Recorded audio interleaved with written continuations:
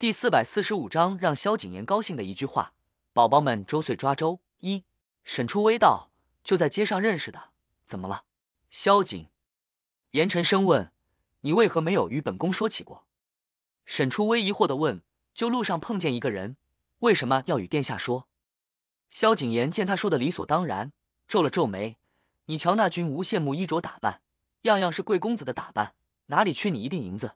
一看便知有所图谋。萧景琰面若冰霜，可每次与他说话还是有些温柔的。今日这么凶，让沈初微愣了一会。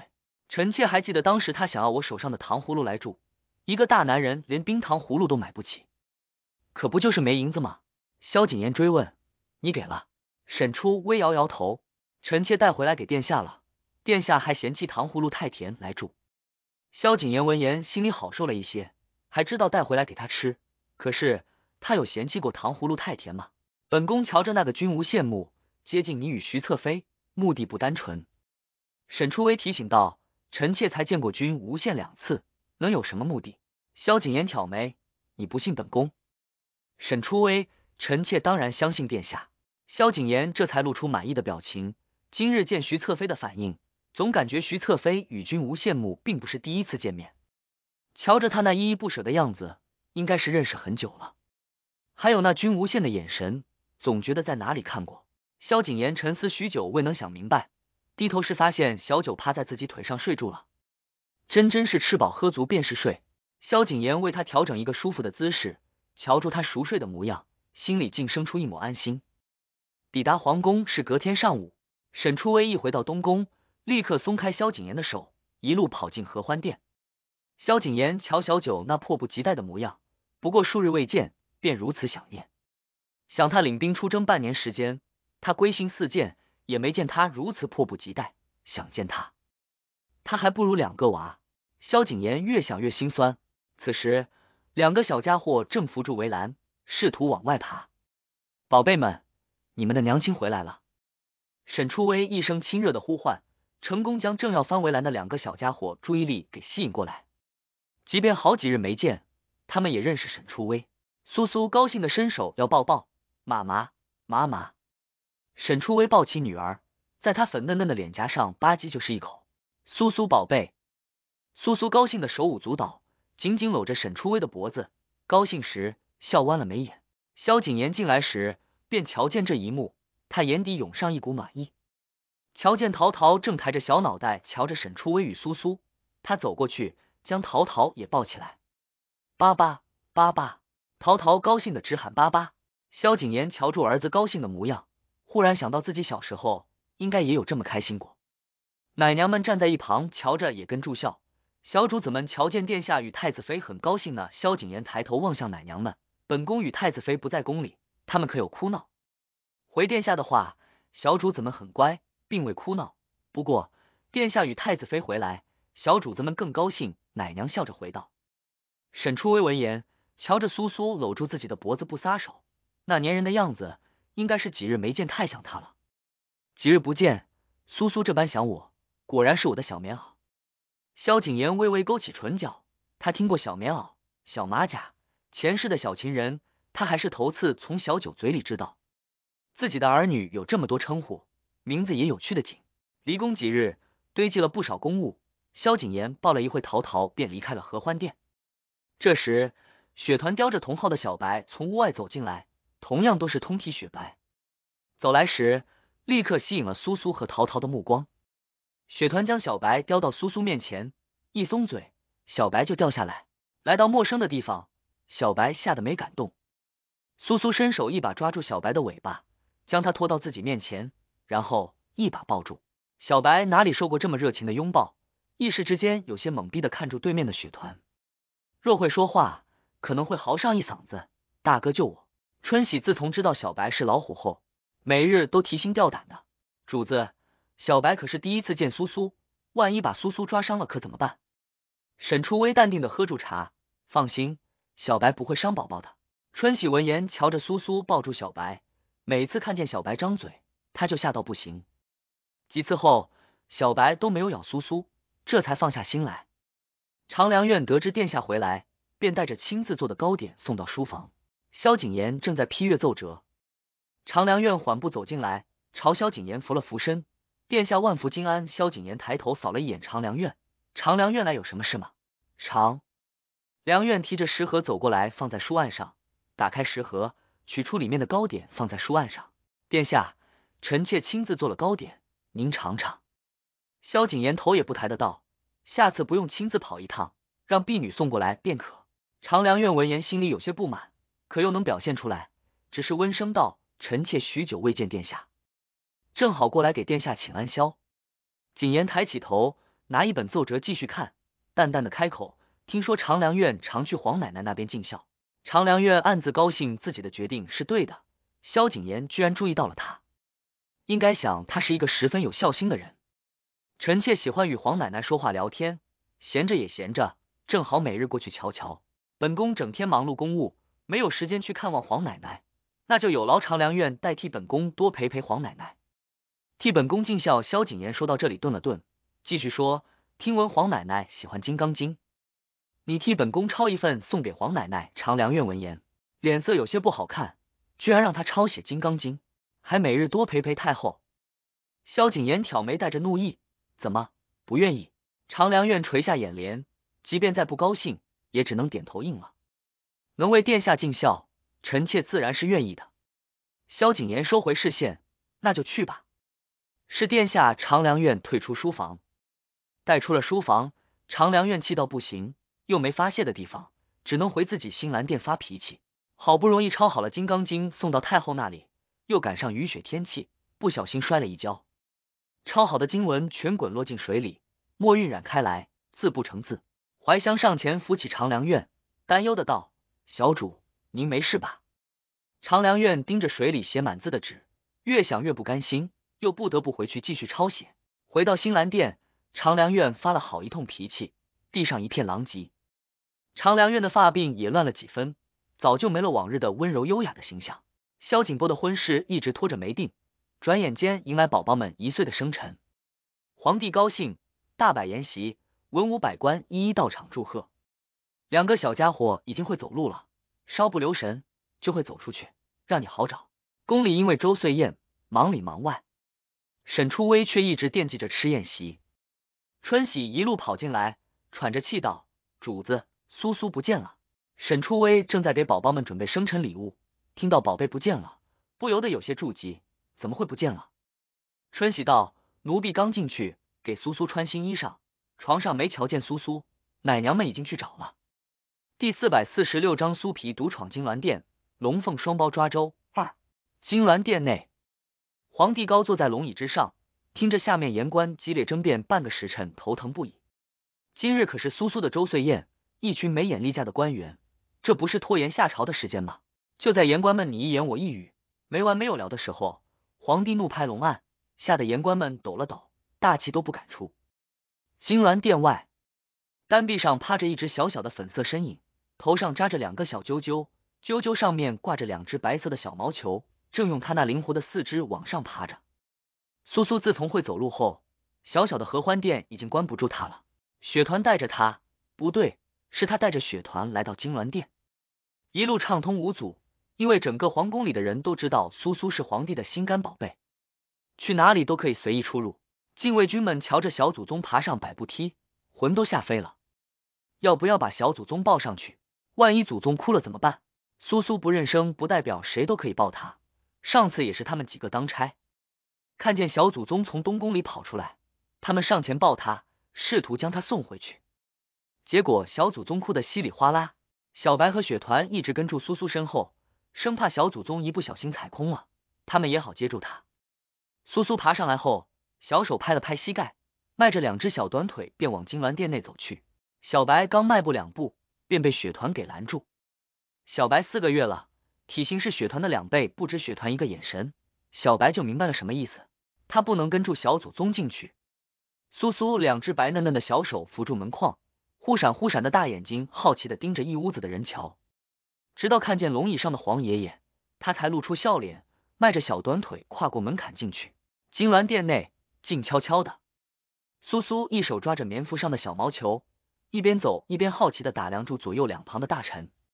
大臣们个个低眉敛目，瞥见殿中央有一道小小的身影，正一步一晃的走过来。皇帝的心肝宝贝孙女，三月大的时候就抱着玉玺玩，谁不认识？金銮殿可是商议国家大事的地方，即便再受宠，怎么能随意出入？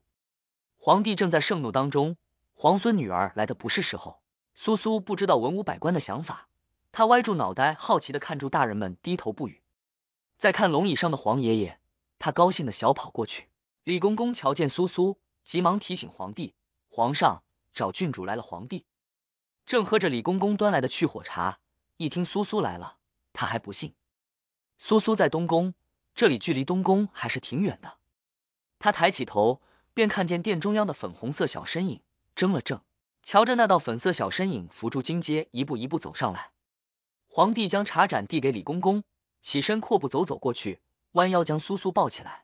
苏苏高兴的搂住黄爷爷的脖子，奶声奶气的喊：“爷爷，爷爷，爷爷！”两个字，苏苏也不近日才学会的。黄爷爷三个字有些难，可爷爷两个字还是比较容易。皇帝听见苏苏叫自己爷爷，高兴的笑出声。听着皇帝的笑声，下面的文武百官一脸懵逼。也见识到皇帝翻脸比翻书还快，前一秒还在盛怒当中，这会就开怀大笑。退朝，皇帝高兴，丢下两个字，就抱着苏苏走出去金銮殿。当皇帝看见门口的白虎与雪团时，皱了皱眉。雪团就算了，一只猫好好养着倒不怕，可是，一只白虎也给苏苏当宠物，就跟离谱。再过两三个月，体型翻倍，万一伤到苏苏可怎么好？苏苏看见小白。朝他挥舞着小手，呼呼呼呼。皇帝已经不是第一次听见苏苏叫白虎呼呼，他温声纠正道：“苏苏是虎虎，白虎。”苏苏歪住脑袋，奶声奶气的重复：“呼呼，爷爷，呼呼。”皇帝闻言笑出声。太子妃说过，孩子小，有些字发音不准很正常，待大一点就好了，也没再继续纠正。皇爷爷带你去找皇奶奶好不好？苏苏听见黄奶奶激动到不行，奶奶，奶奶发音没有爷爷容易。才一岁的苏苏咬字不清晰，皇帝也任由他去了，抱着苏苏便往凤仪宫走去。小白立刻迈着四肢跟上去，雪团则是扭头回了东宫。此时合欢殿，沈初微带着人将合欢殿都翻遍了，也没瞧见苏苏的身影。最后只能扩大范围至整个东宫，东宫里的侍卫宫女挨个的找。同时也惊动了其他店里的小主。长良院正在外面散步，瞧见宫里的人慌慌张张的样子，问怀香：“外面这是怎么了？这么大动静？”怀香道：“听说是小郡主不见了，大家正在找。”那长良院听见是小郡主丢了，眼底有了笑意。才一岁的孩子这么演，也不知道皇上皇后为何这么喜欢。听说皇上一直盼着能有个公主，可以嫔妃们肚子不争气。正好太子妃生了小郡主，皇上有了孙女，自然是高兴的。怀香猜测，长良院闻言心里很是不甘心。多入宫这么久也没事情，皇帝皇后也不过问，他若事情，肯定也能生出一儿一女，便宜太子妃了。小主，咱们现在最重要的是事情，事情了才有机会母凭子贵。怀香提醒，我当然知道事情的重要性，可殿下不来。长良院说到这里，想到母亲说的办法。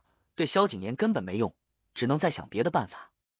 沈初微带着人找了一圈，没找到苏苏，却在书房里找到陶陶。陶陶站在椅子上，拿着朱笔在写写画画，有模有样的。沈初微瞧着，不禁感叹：果然是萧景琰的儿子，才一岁就如此勤奋了。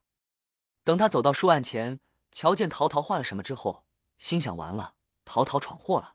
先不提陶陶画的鬼画符是什么，重要的是纸。陶陶写字的纸是一幅字画，而且还是别人送的。萧景琰还当住他面夸过这幅画，说明是很喜欢的。陶陶看见沈初微来了，举住手里的朱笔，笑得一脸开心。妈妈，沈初微看住宝贝儿子笑得这么开心，还是告诉他一个事实：宝贝，你完了。陶陶疑惑的盯着沈初微瞧，压根不懂这句话的意思。沈初微将儿子抱下来，拿走他的手里的朱笔，放回原位。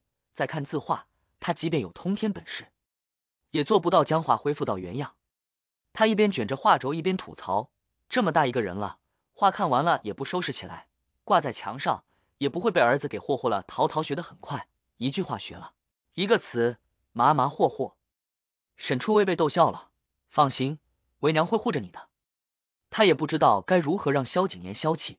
收拾好后，沈初微带住儿子去洗手。春喜这时小跑住过来，主子，雪团回来了。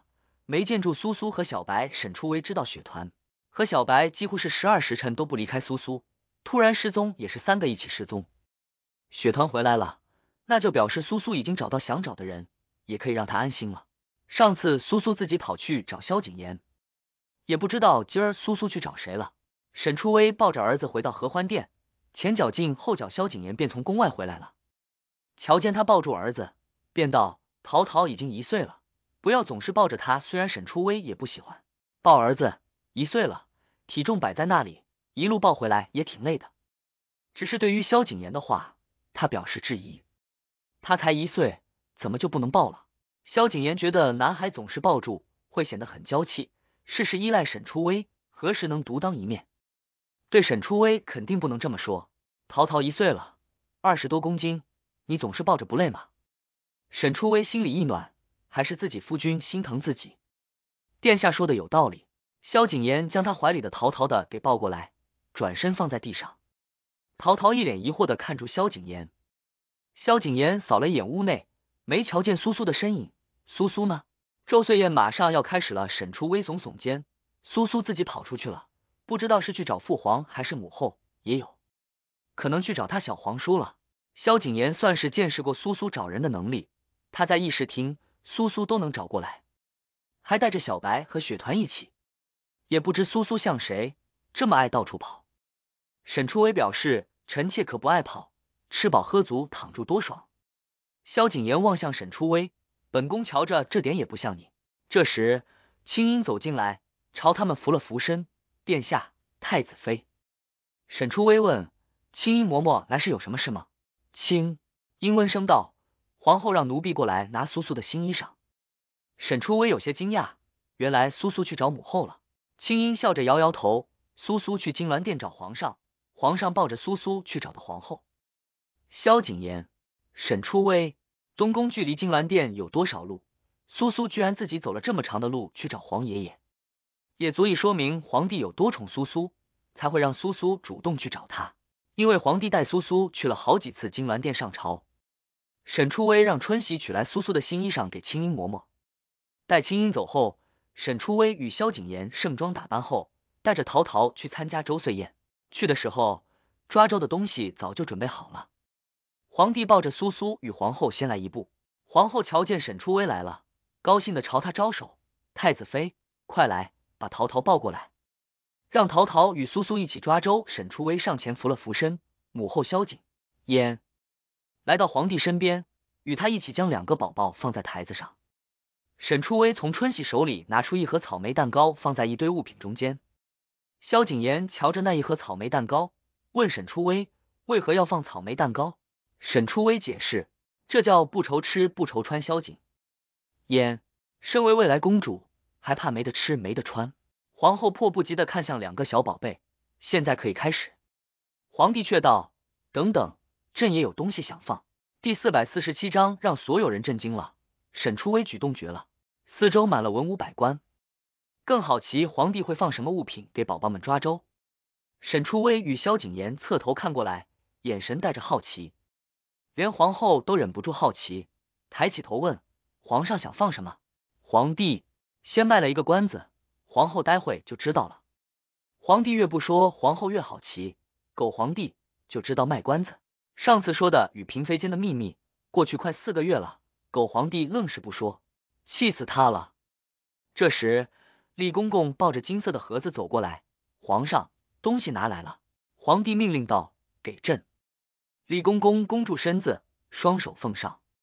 所有人的目光望向李公公手中的物品，一眼就认出那是装玉玺的盒子。皇帝要放的物品，不言而喻，就是玉玺。在场所有人都惊呆了。皇帝居然拿玉玺当抓周物品，还是头次遇见皇帝打开盒子取出里面的玉玺摆放在物品中间，随即笑着看向对面的陶陶和苏苏。这是玉玺，谁抱起它，朕有赏。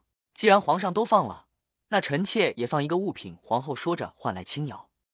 替自己取下凤冠，放在中间的位置。凤冠同样代表了权力身份的象征，做工繁复，凤只有皇后尊贵的身份才能穿戴。皇帝瞧着凤冠，问皇后：“你放凤冠有何寓意？”皇后抬住下巴回道：“这叫凤于九天。”皇帝点头赞同，寓意不错。咱们的孙子孙女就该有这样的魄力。沈初微瞧着一堆物品里，最惹人注目的便是晶莹剔透的玉玺，镶着珍贵宝石的凤冠，这期望是不是太高了？他视线望向自己亲手做的草莓蛋糕，万一儿子女儿都像他混吃混喝、贪睡，岂不是辜负了皇帝与皇后的期望？萧景波从身后冒出来，嘿嘿笑了两声。既然父皇母后都放了，也不介意我这个叔叔放一样物品。皇帝知道儿子从来不走寻常路，拿物品也是一样的。你凑什么热闹？就兴父皇拿，还不许儿臣拿吗？萧景波向来不怕皇帝，他从怀里掏出一把木剑，放在玉玺与凤冠之间，然后笑着望向陶陶。陶陶，记得拿剑。皇帝、皇后。就知道这小子拿不出来像样的东西。站在不远处的长良院看见这一幕，再也忍不住心里的嫉妒。凭什么沈初微生的两个孩子可以众星捧月，连同姑母也像变了个人似的？看住站在萧景琰身边的沈初微，露出那样得意的笑容，心里极度不平衡。明明一切都是属于他的，却被沈初微给抢走了，让他怎么能不恨？太后在林星的服下姗姗来迟，也看见了刚才的那一幕，这般恩宠。他还是头次瞧见，陶陶和苏苏的确很招人喜欢，也不怪皇帝皇后喜欢。林星看住眼前的一幕，视线望向萧景琰与沈初微，有些庆幸当时自己的选择没有顺住太后的意思，给萧景琰当妾。像萧景琰这般专情的人，很难让第三个人融入进去。他扫了一眼长良院，身为皇后的侄女，长将军的嫡女，一样受宠，独守空房。他只有太后撑腰。恐怕入了东宫还不如长良院。他又将视线望向萧景波，看见他带着韩姑娘，相比萧景琰，嫁给萧景波会更好。皇帝见太后来了，带着一众人给太后请安。母后来的正是时候。太后笑着说：“你们继续，哀家就在一旁瞧个热闹。”皇帝还是把太后请到前面，扫了一眼面前的物品，有些迫不及待想知道陶陶和苏苏会拿哪个。陶陶、苏苏，快过来！早在陶陶和苏苏放在台上面时，两宝贝就忍不住想爬过来，奈何被两个小太监拦着。这会小太监听了皇帝的话，松开他们后，陶陶和苏苏便朝一堆物品爬过去。皇帝皇后一直盯着小家伙瞧，都希望他们能抱着玉玺和凤冠。沈初微就不一样了，他非常期待宝贝们能拿草莓蛋糕。宝贝们，草莓蛋糕不错哦。没一会功夫，陶陶。和苏苏便爬到一堆物品前，摆在最前面的便是文房四宝，笔墨纸砚，接着便是书、金银珠宝。苏苏瞧见草莓蛋糕，伸手便拿起来，毫不客气的送进嘴里，咬了一口，已经长了八个牙齿，他可以轻易的吃软乎乎的蛋糕。沈初微高兴的抓着萧景琰的手，激动的道：“苏苏第一个拿的是草莓蛋糕。”萧景琰无奈的道：“苏苏这贪吃的性子是坐实了。”沈初微看住苏苏吃着草莓蛋糕，那模样可比极了。他不以为意的道：“贪吃有什么不好？”萧景言瞧着苏苏吃东西的模样，简直就是小九的缩小版，尤其是看见美食的眼神，更像。自然没什么不好。苏苏第一个拿的是草莓蛋糕，皇帝与皇后没失望，反而笑了。苏苏吃东西的样子真可爱，还知道舔手指。苏苏拿着草莓蛋糕，虽然不大。可对于一岁的宝宝来说，就有些大了，难免会的沾的满手的奶油。吃完后，看见手上有奶油，就会伸到嘴边舔了一下。随后，宫女拿着湿手帕将苏苏的嘴巴、小手擦前进。这边，陶陶拿起朱笔把玩住，另一只手将文房四宝挨个摸了一遍。看见桃木剑，好奇的拿起来玩了一会儿。萧景凡瞧见桃木剑，拿起桃木剑，激动到不行。陶陶有眼光。这可是开过光的桃木剑，韩姑娘，萧景琰、沈初微、皇帝、皇后，苏苏吃完草莓蛋糕，看见玉玺，她爬过去，弱弱的小手摸了摸玉玺，因为玩过，再玩便是兴趣缺缺。目光最终望向凤冠上的红宝石，一向对鲜艳的颜色感兴趣的她，双手捧着凤冠放在腿上，盯着红宝石，便用小手去扣。皇后瞧见了，激动的道：“苏苏很有眼光，日后必成大器。”沈初微有她这个强大基因的老妈，成大器有些难。苏苏抱着凤冠，抬起头看向皇后，小手撑着台面站起身，便往皇后面前走过去。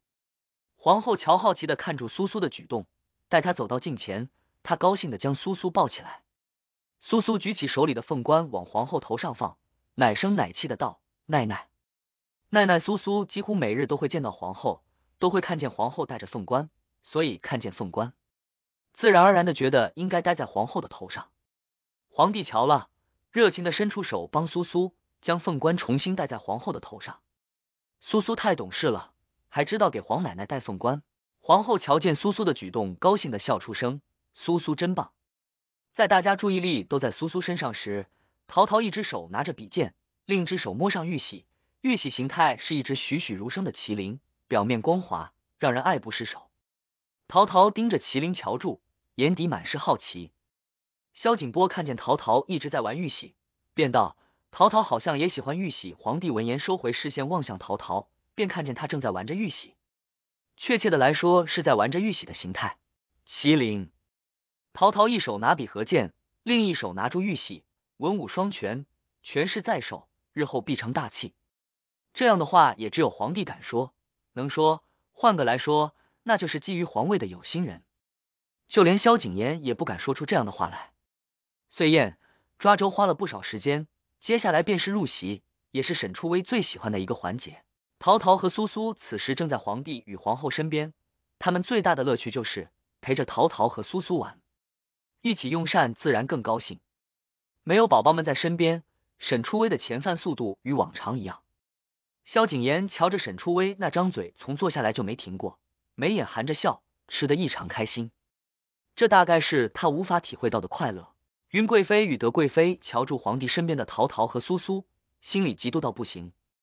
如此荣宠，是他们的孙子从未有过的待遇，无论是满月宴还是周岁宴，都没有如此隆重过。现在皇后常带着陶陶和苏苏出来玩，他们瞧了都避之不及。毕竟一个孙子哪里比得了人家龙凤胎？皇帝掌心上的宝贝，既然比不了，一定要躲着走。周岁宴结束后，陶陶和苏苏早就困了，由奶娘们带着回去午睡。萧景琰和沈初微回到东宫，本宫去书房处理一些事情，你也去午睡一会儿。萧景琰可是知道小九吃饱喝足后最喜欢躺着，这会正好是午睡时间，他肯定会午睡。沈初微听到书房，就想到被儿子毁的那幅画，万一萧景琰发现画毁了。会不会生气？他一把抓住正欲离开的萧景琰，殿下，臣妾这会不困，臣妾陪你一起去书房好不好？媳妇这般说，萧景琰自然也不会拒绝。好，两人先后走进书房，刘喜端来两盏新沏的茶放在书案上，随即退出去。萧景琰来到书案前，发现自己临走前放在书案上的画不见了。沈初微见萧景琰盯住书案瞧，他记性那么好。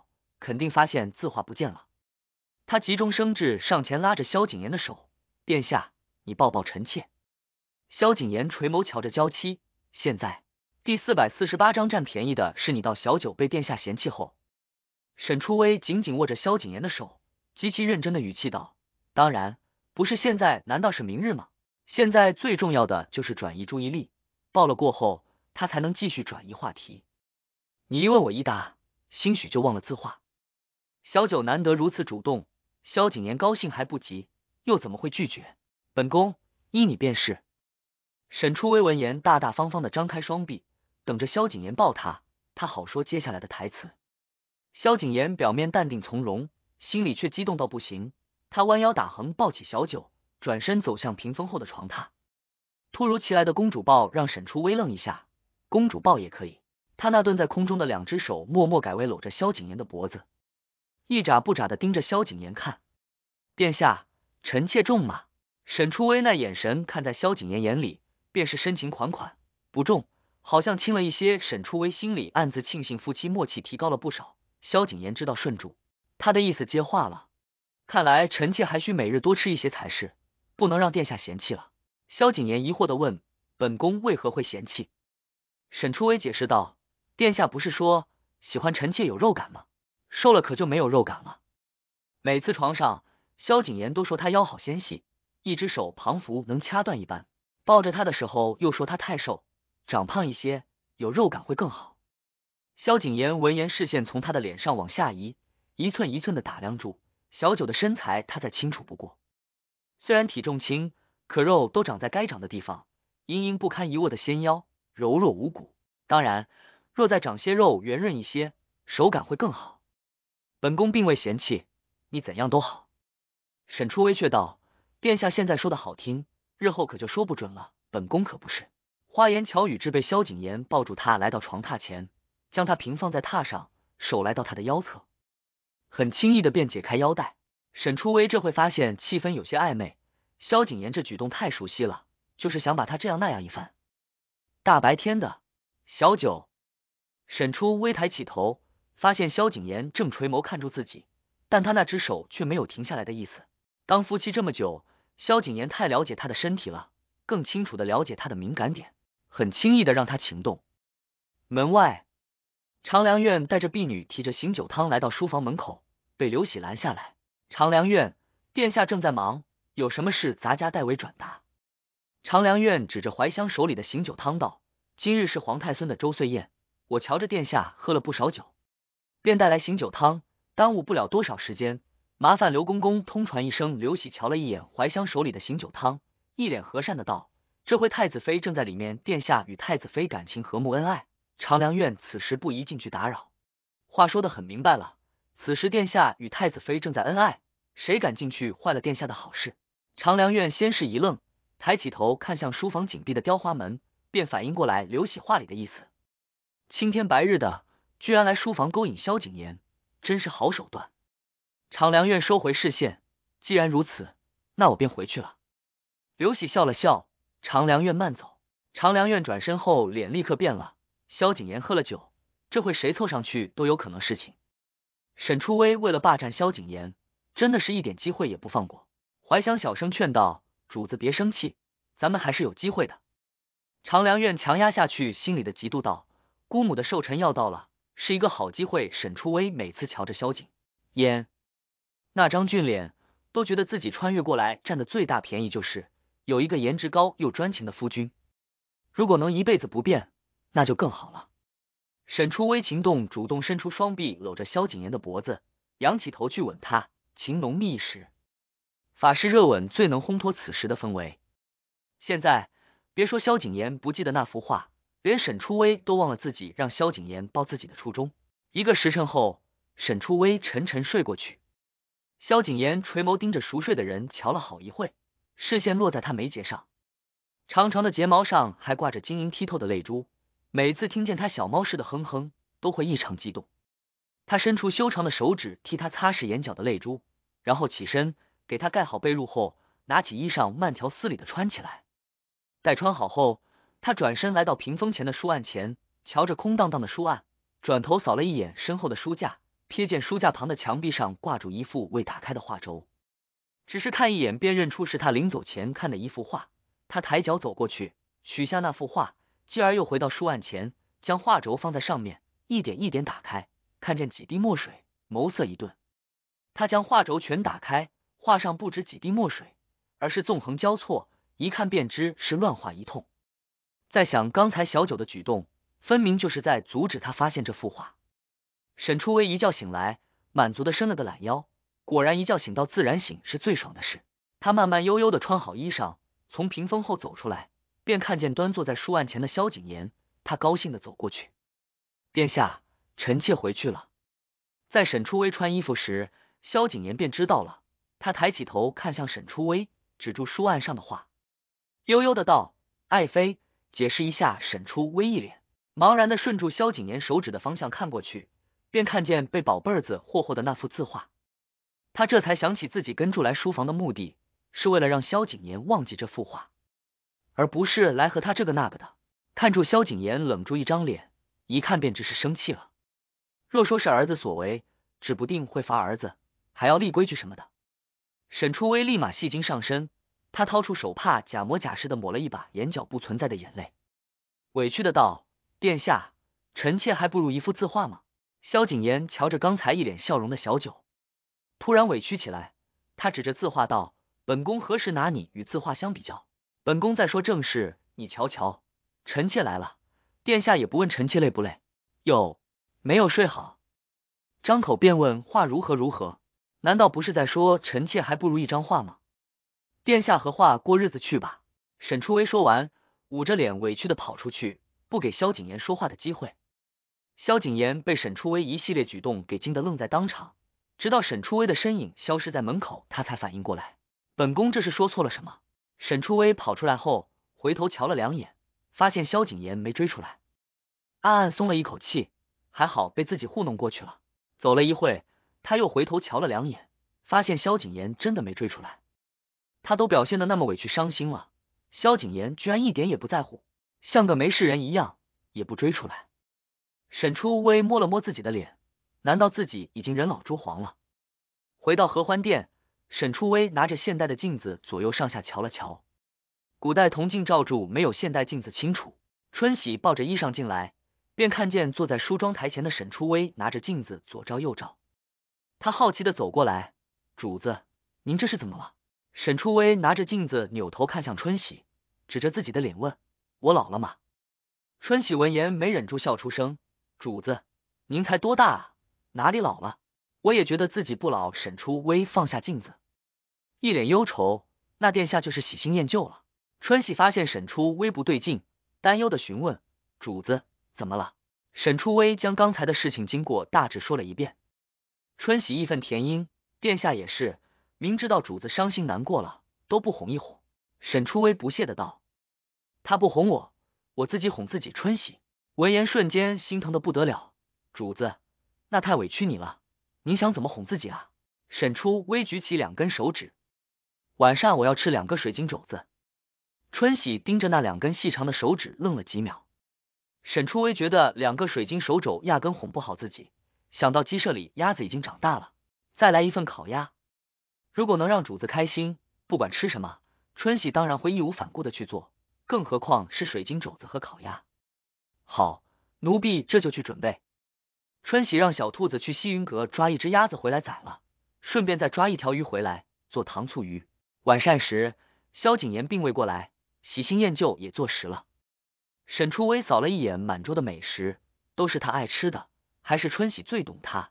他含泪吃了四碗饭。淘淘和苏苏现在是自主吃饭，坐在宝宝餐椅上，面前是摆放着饭菜，有筷子也有汤匙。宝宝餐椅是他画的图纸，让秦霄找木匠定做的。宝宝的模仿能力很强，看见大人用筷子吃饭，他们也会学着拿筷子吃饭。虽然饭菜撒的到处都是，他们也是努力用筷子吃饭。用完晚膳，奶娘们带着淘淘和苏苏去沐浴。沈初微沐浴完后，便放下床幔，躺进被窝里。正要闭上眼睛时，听见开门声，接着传来脚步声，下意识的以为进来的是春喜。春喜出去后，把屋外的门拴上。萧景琰脚步一顿，回头看了一眼屋外的门，若进来的不是他，拴上后他还进得来吗？第四百四十九章，夫妻间沟通很重要，要不生个小号继续练。沈初微说完后，便裹紧被褥打算睡觉。可是每日习惯有萧景琰给他取暖，今晚萧景琰却没来。冬日里。被窝里有些凉，两只脚都伸不直。想到春喜还在，他又吩咐道：“春喜，你给我准备两个汤婆子，太冷了，我睡不住。”萧景琰走到床边，手正要掀开床幔，便听见沈初微的话：“同床这么久，没看过小九用汤婆子，怎么突然就要汤婆子了？”媳妇想要，他当然要满足。收回手，转身走出去，吩咐春喜准备了两个汤婆子。待准备好后。萧景琰一手拿出一个汤婆子进来，沈初微听见脚步声就知道春喜来了，便提前坐起来。刚坐好，便看见汤婆子从外面送进来，他迫不及待的伸手接过来放进被窝里，再推到脚边上。这时，另外一个汤婆子也送进来，他同样迫不及待的接过来抱进怀里。有了两个汤婆子，一下子暖和起来。很快，沈初微便发现今日的春喜有些不对劲。平时春喜若得知他说了，一定会很心疼的说上几句。拿来汤婆子一定会主动放进被窝里，放在他的脚边上。估计是太累了。春喜不用守夜了，回去歇着吧。沈初微说住，躺回被窝里。有了汤婆子，脚可以伸直，也不冷了。萧景琰的手刚解开腰封，闻言，他慢条斯理的开始脱衣裳，一件一件的扔到对面的衣架上。沈初微听见悉悉索索的脱衣服声音，疑惑的抬起身子，伸手撩开床幔，便看见床边站住一道身影，那身影正在脱衣裳。他抬起手臂，这次看得清楚，脱衣服的是萧景琰。门不是锁死了吗？萧景琰怎么进来的？刚才递汤婆子的也是萧景琰。殿下怎么来了？萧景琰脱完衣裳后，在床上坐下来，看住一脸惊讶的沈初微，本宫来的巧。晚一步便进不来了。沈初微这回才知道，刚才让春洗栓门的时候，进来的人就是萧景琰。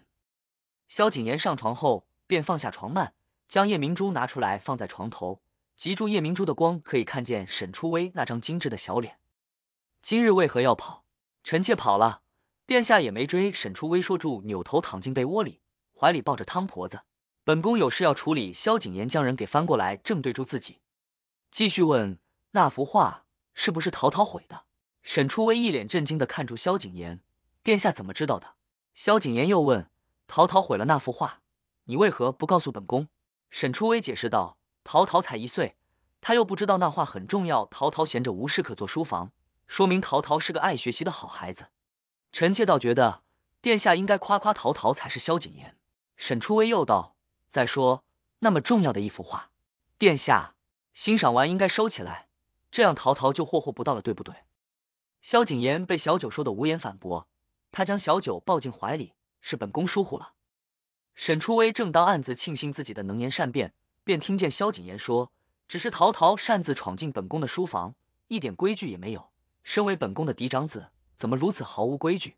沈初微提醒道：“殿下，陶陶才一岁。”萧景琰正色道：“正是因为一岁，需要好好引导才是。”沈初。微无奈的叹了口气，自个这么累，还要儿子也这么累。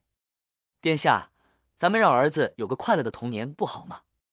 萧景琰怔住，快乐的童年，为什么他觉得这句话很耳熟？沈初微继续说，人长大了就会有压力，有烦恼，所以童年非常重要。咱们散养好不好？放养。萧景琰再次怔住，因为这句话也觉得很熟悉。何为放养？沈初微想了想，解释道。放养便是，咱们不管他，也不约束他，任由他笔直茁壮成长，过完童年，咱们再说。萧景琰表示怀疑，你确定是笔直茁壮成长，而不是长歪了吗？有殿下这座标杆，儿子哪有那么容易长歪？殿下放心，放养的孩子一样可以优秀，毕竟儿子有殿下如此优秀的基因，不会差到哪里去的。沈初微前后后都是在夸萧景琰，好听的话谁不爱听？萧景琰也不例外，若长歪了呢？呃，沈初微揪着萧景琰的衣襟，结果把衣襟给扯开了，露出大片白皙的肌肤。那就再生一个小号，换个方法继续练，肯定能满级。萧景琰听得一头雾水，小号满级？沈初微解释，就是再生一个儿子，让殿下亲自教导。你倒是想得开。不过，萧景琰说到这里顿了顿，沈初微忍不住追问。不过什么？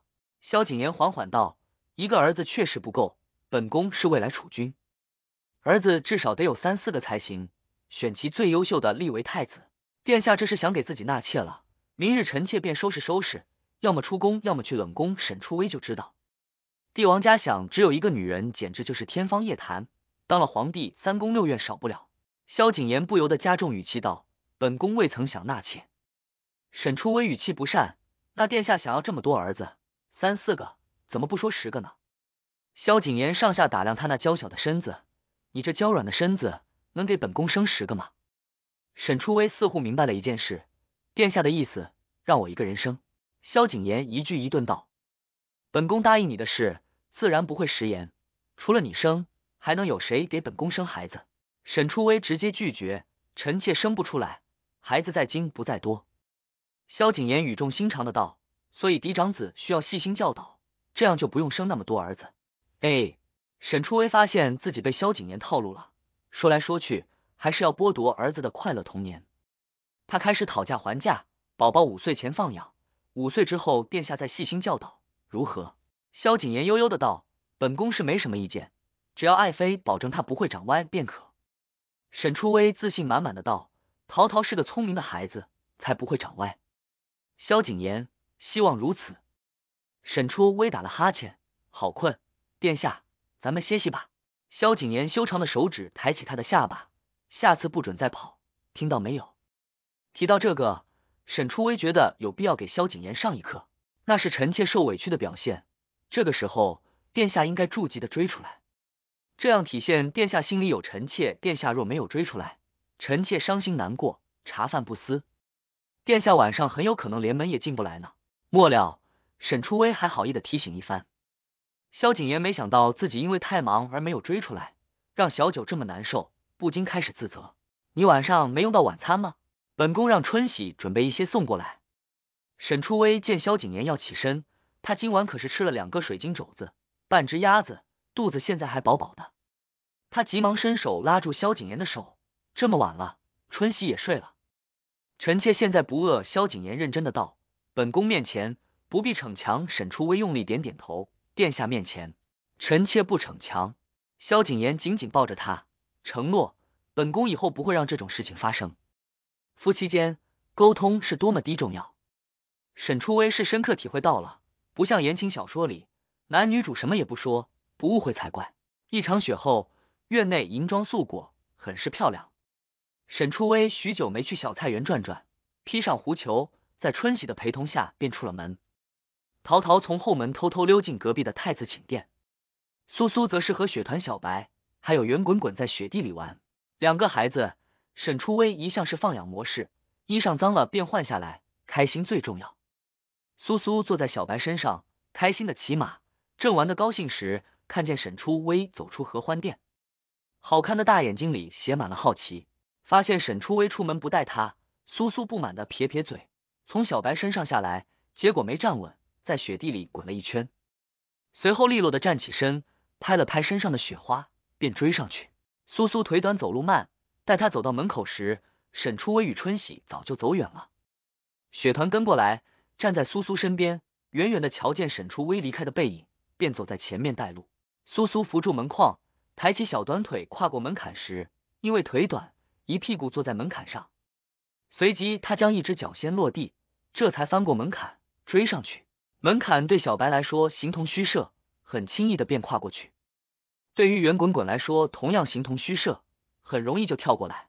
苏苏迈着两只小短腿，跟在雪团后面，一步一晃的走住。一只白虎和一只灰色的兔子不紧不慢的跟在苏苏身后。雪团一边走着，一边回头瞧住苏苏，生怕苏苏跟丢了。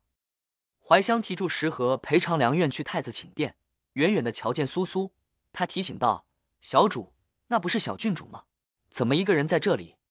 长良院顺着怀香手指的方向望过去，便看见身穿粉色棉服的苏苏，走路一步一晃，庞佛随时会摔倒一般。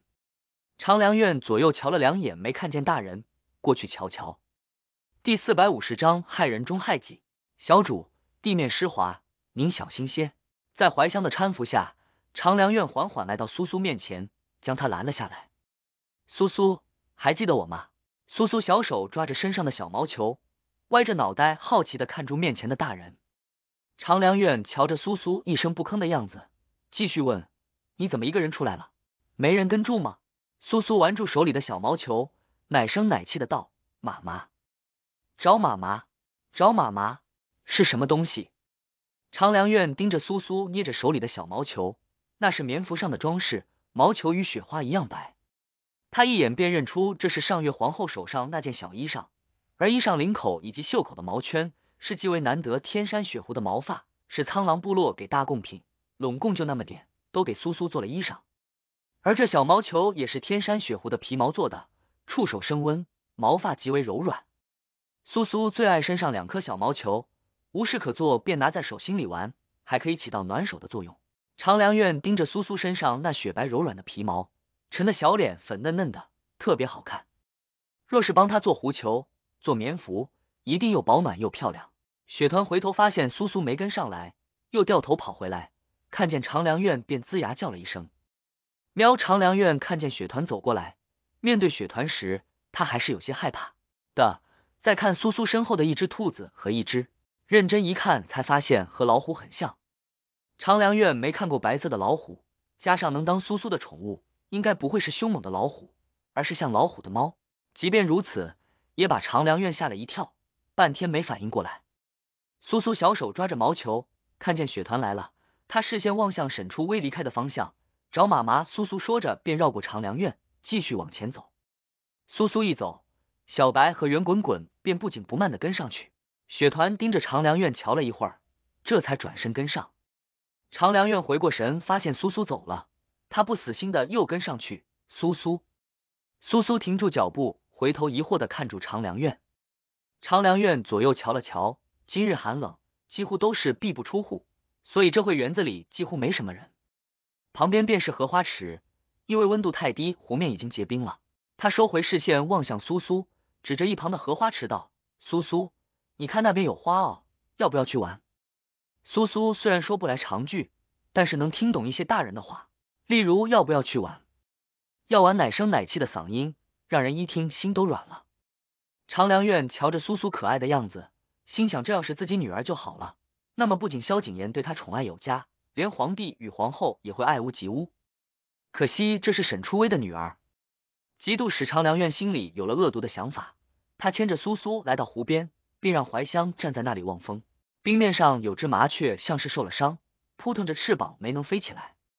长良院指着麻雀哄道：“苏苏，你看那里有只麻雀，想不想要？想要自己去拿哦。”小孩子好奇心重，又贪玩，苏苏也不例外。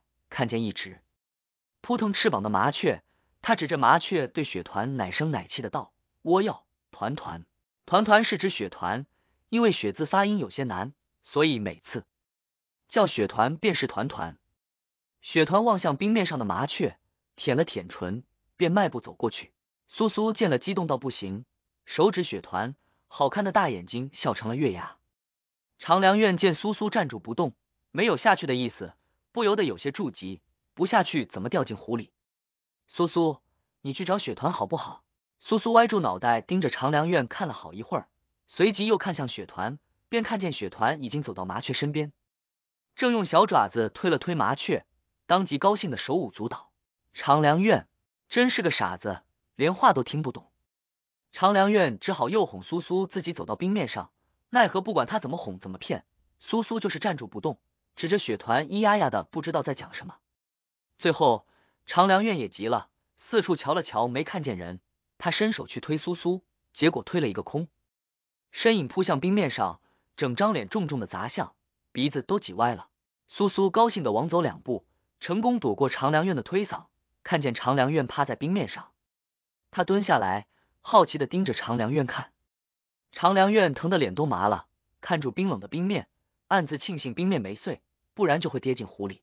看见苏苏蹲下来，用肉肉的手指住自己，一边笑一边说：“爬。”爬，苏苏以为长良院趴在那里是想爬，因为他趴在地上就会爬。长良院翻了翻白眼，手撑着冰面正打算起来时，只听咔嚓一声脆响，吓得他脸色煞白。那是冰面破裂的声音。长良院看见冰面裂开的缝隙，也顾不上其他，怀香，快来救我！长良院快急哭了，可怀香迟迟没有赶过来。小白发现不对劲，张嘴咬住苏苏的衣袖，便往一旁走。他走得极慢，就怕苏苏摔倒。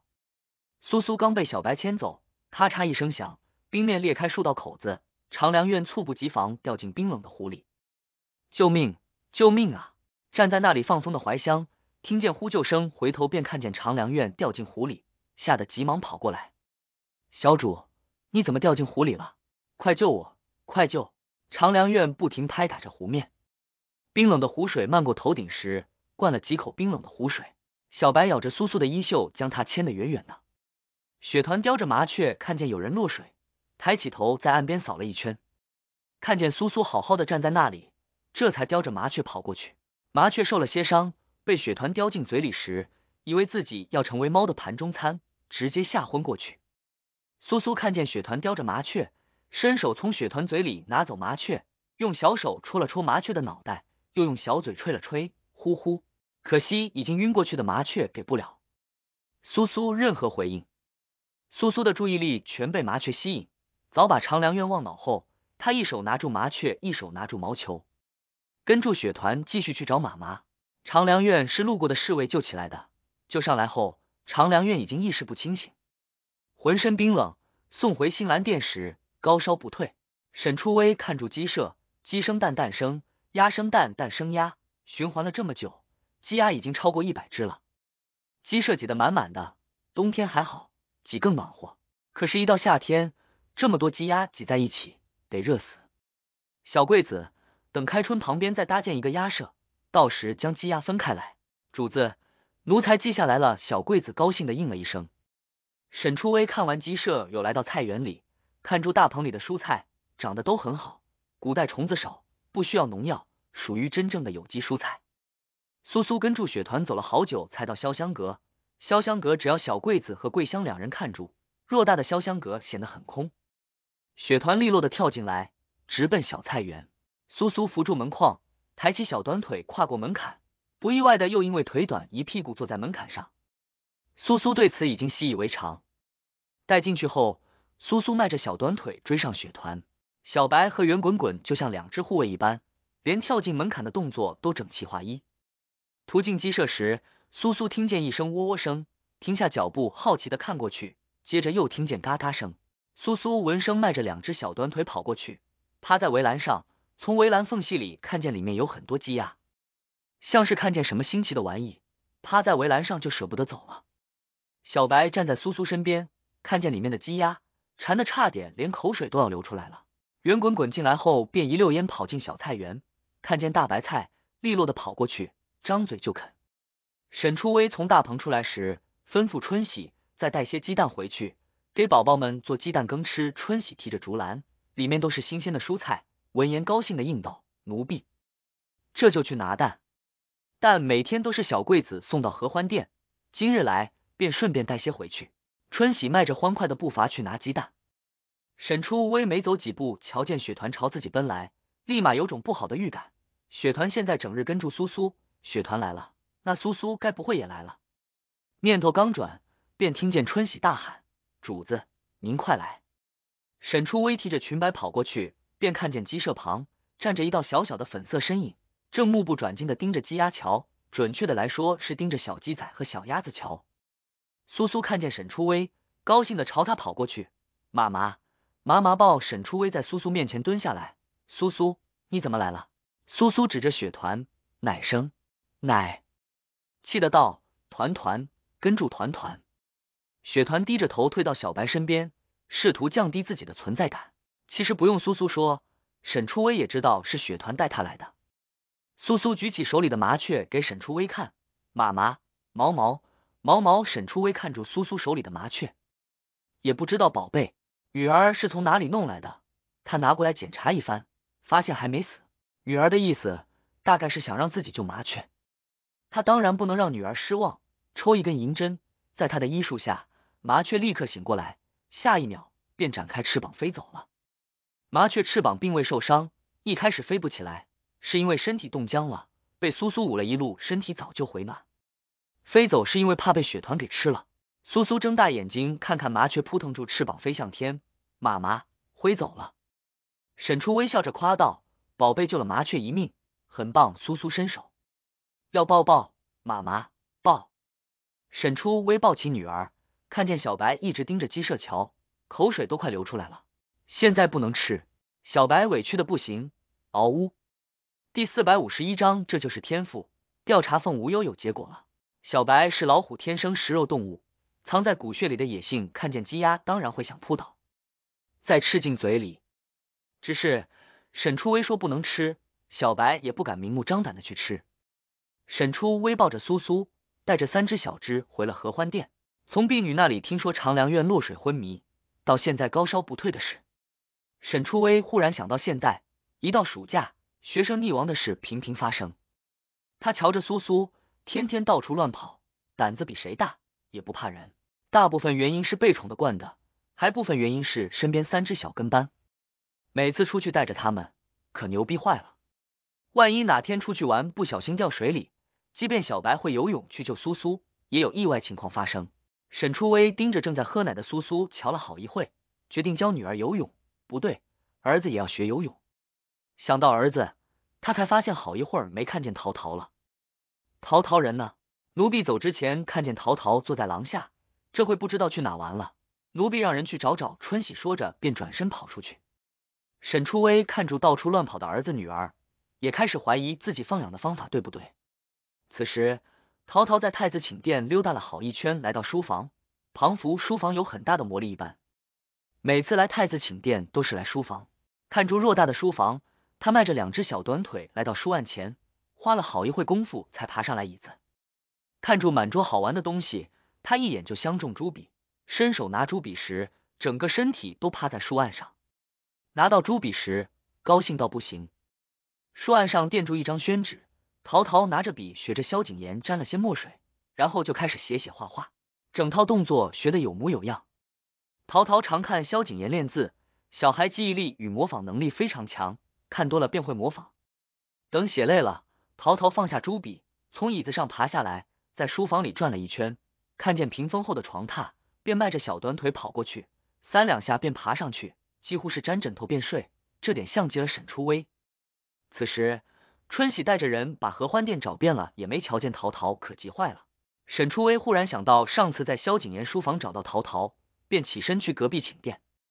待他来到书房，推开门朝里面扫了一眼，书案前空荡荡的，并没有陶陶的身影。沈初微关上门，眼底闪过疑惑，奇怪了，陶陶去哪了？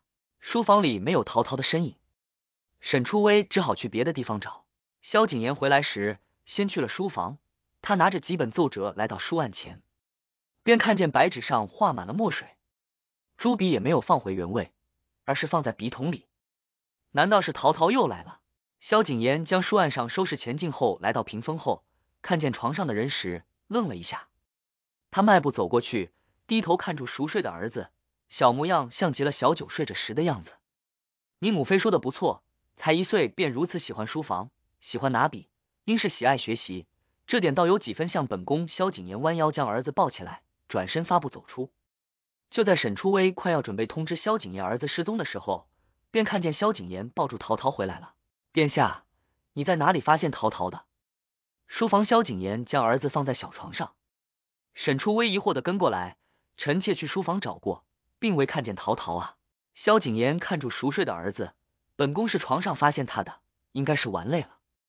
沈初微松了一口气，但当他想起儿子就爱拿朱笔写写画画，那么他去书房，他小心翼翼的询问殿下，陶陶没钱坏事吧？没有，不过。萧景琰说到这里，顿了顿，沈初微一颗心立刻提到嗓子眼。不过什么？萧景琰继续说：“本宫在书案上放了一张宣纸，已经被陶陶写满了。虽然本宫看不懂他写的是什么，不过陶陶的确很喜欢书房。”沈初微暗松了一口气，好好说话，干嘛要大喘气？吓死他了，还以为儿子又做了什么错事。臣妾就说过，陶陶是有这方面的天赋，这点像殿下。萧景琰看住儿子白皙的脸颊上沾了不少黑色墨汁，本宫对他要求不高，和本宫一样便可。沈初微感觉萧景琰的对儿子的要求有一丢丢高，毕竟儿子把他贪睡这点继承了十成十，万一把他的懒也继承了，那就完球了。这时，刘喜躬身走进来禀报：殿下，长梁院落水，高烧不退。萧景琰眉头一皱，好好的怎么会落水？刘喜低眉颔首，奴才也不知。长凉院落水是路过的侍卫救起来的，御医说晚一步恐怕便没命了。萧景琰哼了一声，本宫又不是御医，去了有何用？多派两名御医过去瞧瞧。奴才遵命。刘喜退出后，看见门口的怀香似曾相识的画面，怀香急忙上前询问刘公公，殿下怎么说？刘喜不冷不热的道，殿下正在忙，让咱家给常多叫两名御医给长凉院瞧瞧怀。香不死心的道：“刘公公再进去说一声，我家主真的病得很严重，殿下过去瞧两眼便好。”刘喜有些不耐烦了，不管进去多少遍，殿下都是忙住拖不开身。现在最重要的便是让长凉院好起来。怀香愣了一下，只好回了新兰殿。提到落水，沈初微将宝宝们学游泳的想法告诉了萧景琰，却遭到萧景琰的反对。宝宝们还太小，不适合学游泳。沈初微很认真的道：“殿下，宝宝们可以学的，学会了游泳就有了自救的能力，并不是沈初微异想天开。一岁的宝宝是可以学游泳的，当然要在专业的陪同下慢慢学。国内宝宝学游泳的比较少，国外的却很多。”萧景琰也很认真的道：“小九，本宫自然是知道学游泳的好处，可宝宝们太小了，学游泳会很危险。沈初微无奈的叹了一口气，这大概就是现代与古代的代沟。长良院醒来时是隔天下午，高烧昏睡这么久，刚醒来的他头痛不已。怀香见长良院醒来，喜极而泣，小主，你可算醒了，快吓死奴婢了。长良院的意识渐清明起来。知道自己这是因为掉进湖里给冻的，当时他差点以为自己要死了。我昏睡多久了？怀香说已经一日一夜了。长良院又问殿下可曾来过？怀香迟疑了一会，摇摇头，未曾。奴婢去找殿下时，被告知再忙便没过来。不过叫御医过来给小主瞧病了。长良院握紧被褥，萧景琰果然心狠，他都病成这样了，萧景琰一次也没来过。想到自己落水时，苏苏笑得那么开心，分明就是在嘲笑他。怀香安慰道：“小主，殿下说不定是真的忙，待不忙了，一定会过来瞧小主的。”长良院哼了一声：“我瞧殿下心里压根就没有我，不然我高烧至此，他也不闻不问。”怀香有些心疼长良院：“小主，咱们要想想办法才是，不能这样下去，不然……”长良院垂眸沉思：“当然不能这样下去，该是他的必须是他的。”谁也不许抢走。萧景琰这段时间忙住批阅奏折，只因为皇帝又推了一些事情给他做，所以比平日里还要忙。这时，秦霄推门进来禀报：“主子，您上次派去南诏国扎凤无忧的人回来了。”第四百五十二章关于凤无忧不为人知的事，找黑衣人一问究竟。萧景琰眸色一顿，过去这么久，终于有消息了，他还以为会和以前一样，查不到半点消息。快点让他进来！秦萧退出去后，疏影便从外面进来，单膝跪地行礼：“主子。”萧景琰道：“起来回话。”谢主子。疏影站直身体，将自己查到的一一禀报。不可能的，属下也觉得奇怪。经多方查探，得知这场瘟疫来的凶猛，去的也快，短短不过一日，南诏国并未有任何损失，所以并未传开。疏影道。萧景琰冷哼一声：“那就更奇怪了。”瘟疫一日便退去，那还叫瘟疫吗？和下了一场雨有何区别？疏影低眉敛目，因为他也好奇，只是询问许久，所得答案都是一样的。萧景琰沉思许久，想到暗格里的话，玉石还有黑衣人所说的那些话，让他想知道其中的真相。几年前，他派人去查过，南诏国皇室中人并没有信奉的。疏影猜测，主子有没有可能，其实没有凤无忧这个人？若无凤无忧这个人，本宫怎么会有他的画像？萧景琰想起那幅画上的人，与小九有着几分相似，或许是巧合。疏影低下头，他哪里知道，几年前去查过一点线索也没有。这次幸运一些，查到了一点线索，好像用处不大。疏影去南诏小半年时间，人瘦了不少，也表示这次前去吃了不少苦。萧景琰挥了挥手，你下去歇住吧。谢主子。疏影退出书房。萧景琰垂眸瞧着手里的奏折，其实这次调查他并未抱有期待，只是得到这个答案依旧会有些失望。失去的记忆对他来说庞佛没有什么影响，可黑衣人的话却时刻提醒着他，失去的那段记忆很重要。刘喜守在门口的刘喜躬身走进来，殿下有何吩咐？萧景琰道：去把徐侧妃叫过来。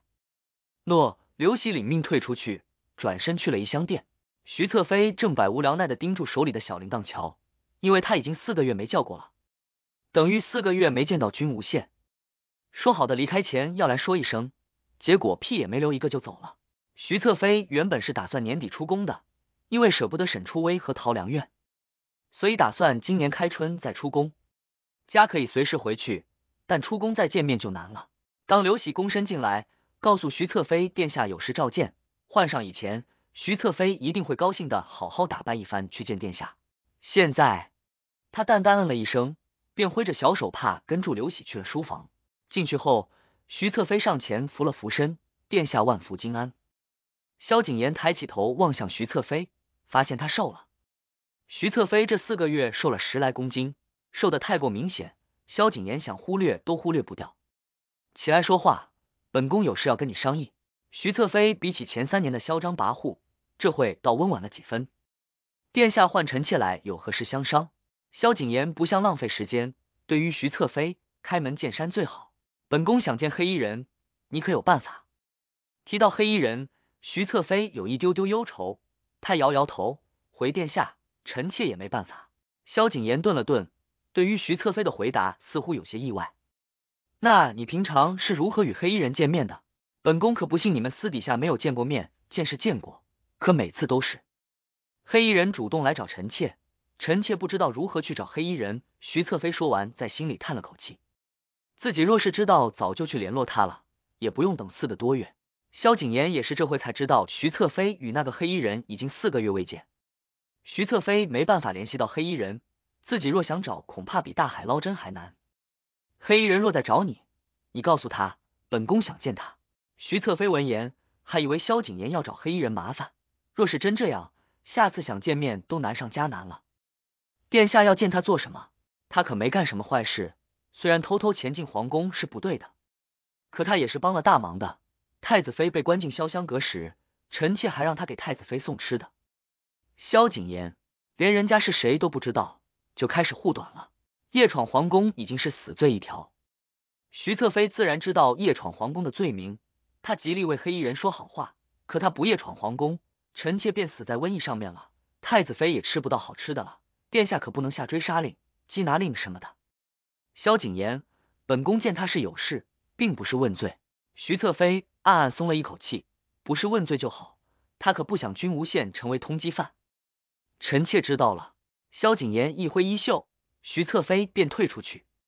不能见到黑衣人，萧景琰想要询问的机会也没有，因为现在只有黑衣人知道凤无忧是谁，与他有何关系？处理完手边的事，萧景琰便去了合欢殿。正是掌灯时分，空中忽然下起了雪。沈初微带着儿子女儿来到廊下看雪，两个小家伙看见洋洋洒洒的雪花，比他还兴奋。沈初微伸出手接了雪花，高兴的递到宝贝们面前。宝贝们，这是雪花。苏苏低头看住沈初微的手掌心，小手指已经化成水的雪花，奶声奶气的道：“是花花麻麻花花。”沈初微觉得一岁孩子说话好玩又可爱，尤其是他那粉嫩嫩的小脸，用很认真的语气说话，简直把人都萌化了。雪花已经融化了。萧景琰踏进合欢殿时，看见的便是这一幕。那温馨的画面让他忽略了呼啸而过的寒风，眼底的冷漠被温柔所替代。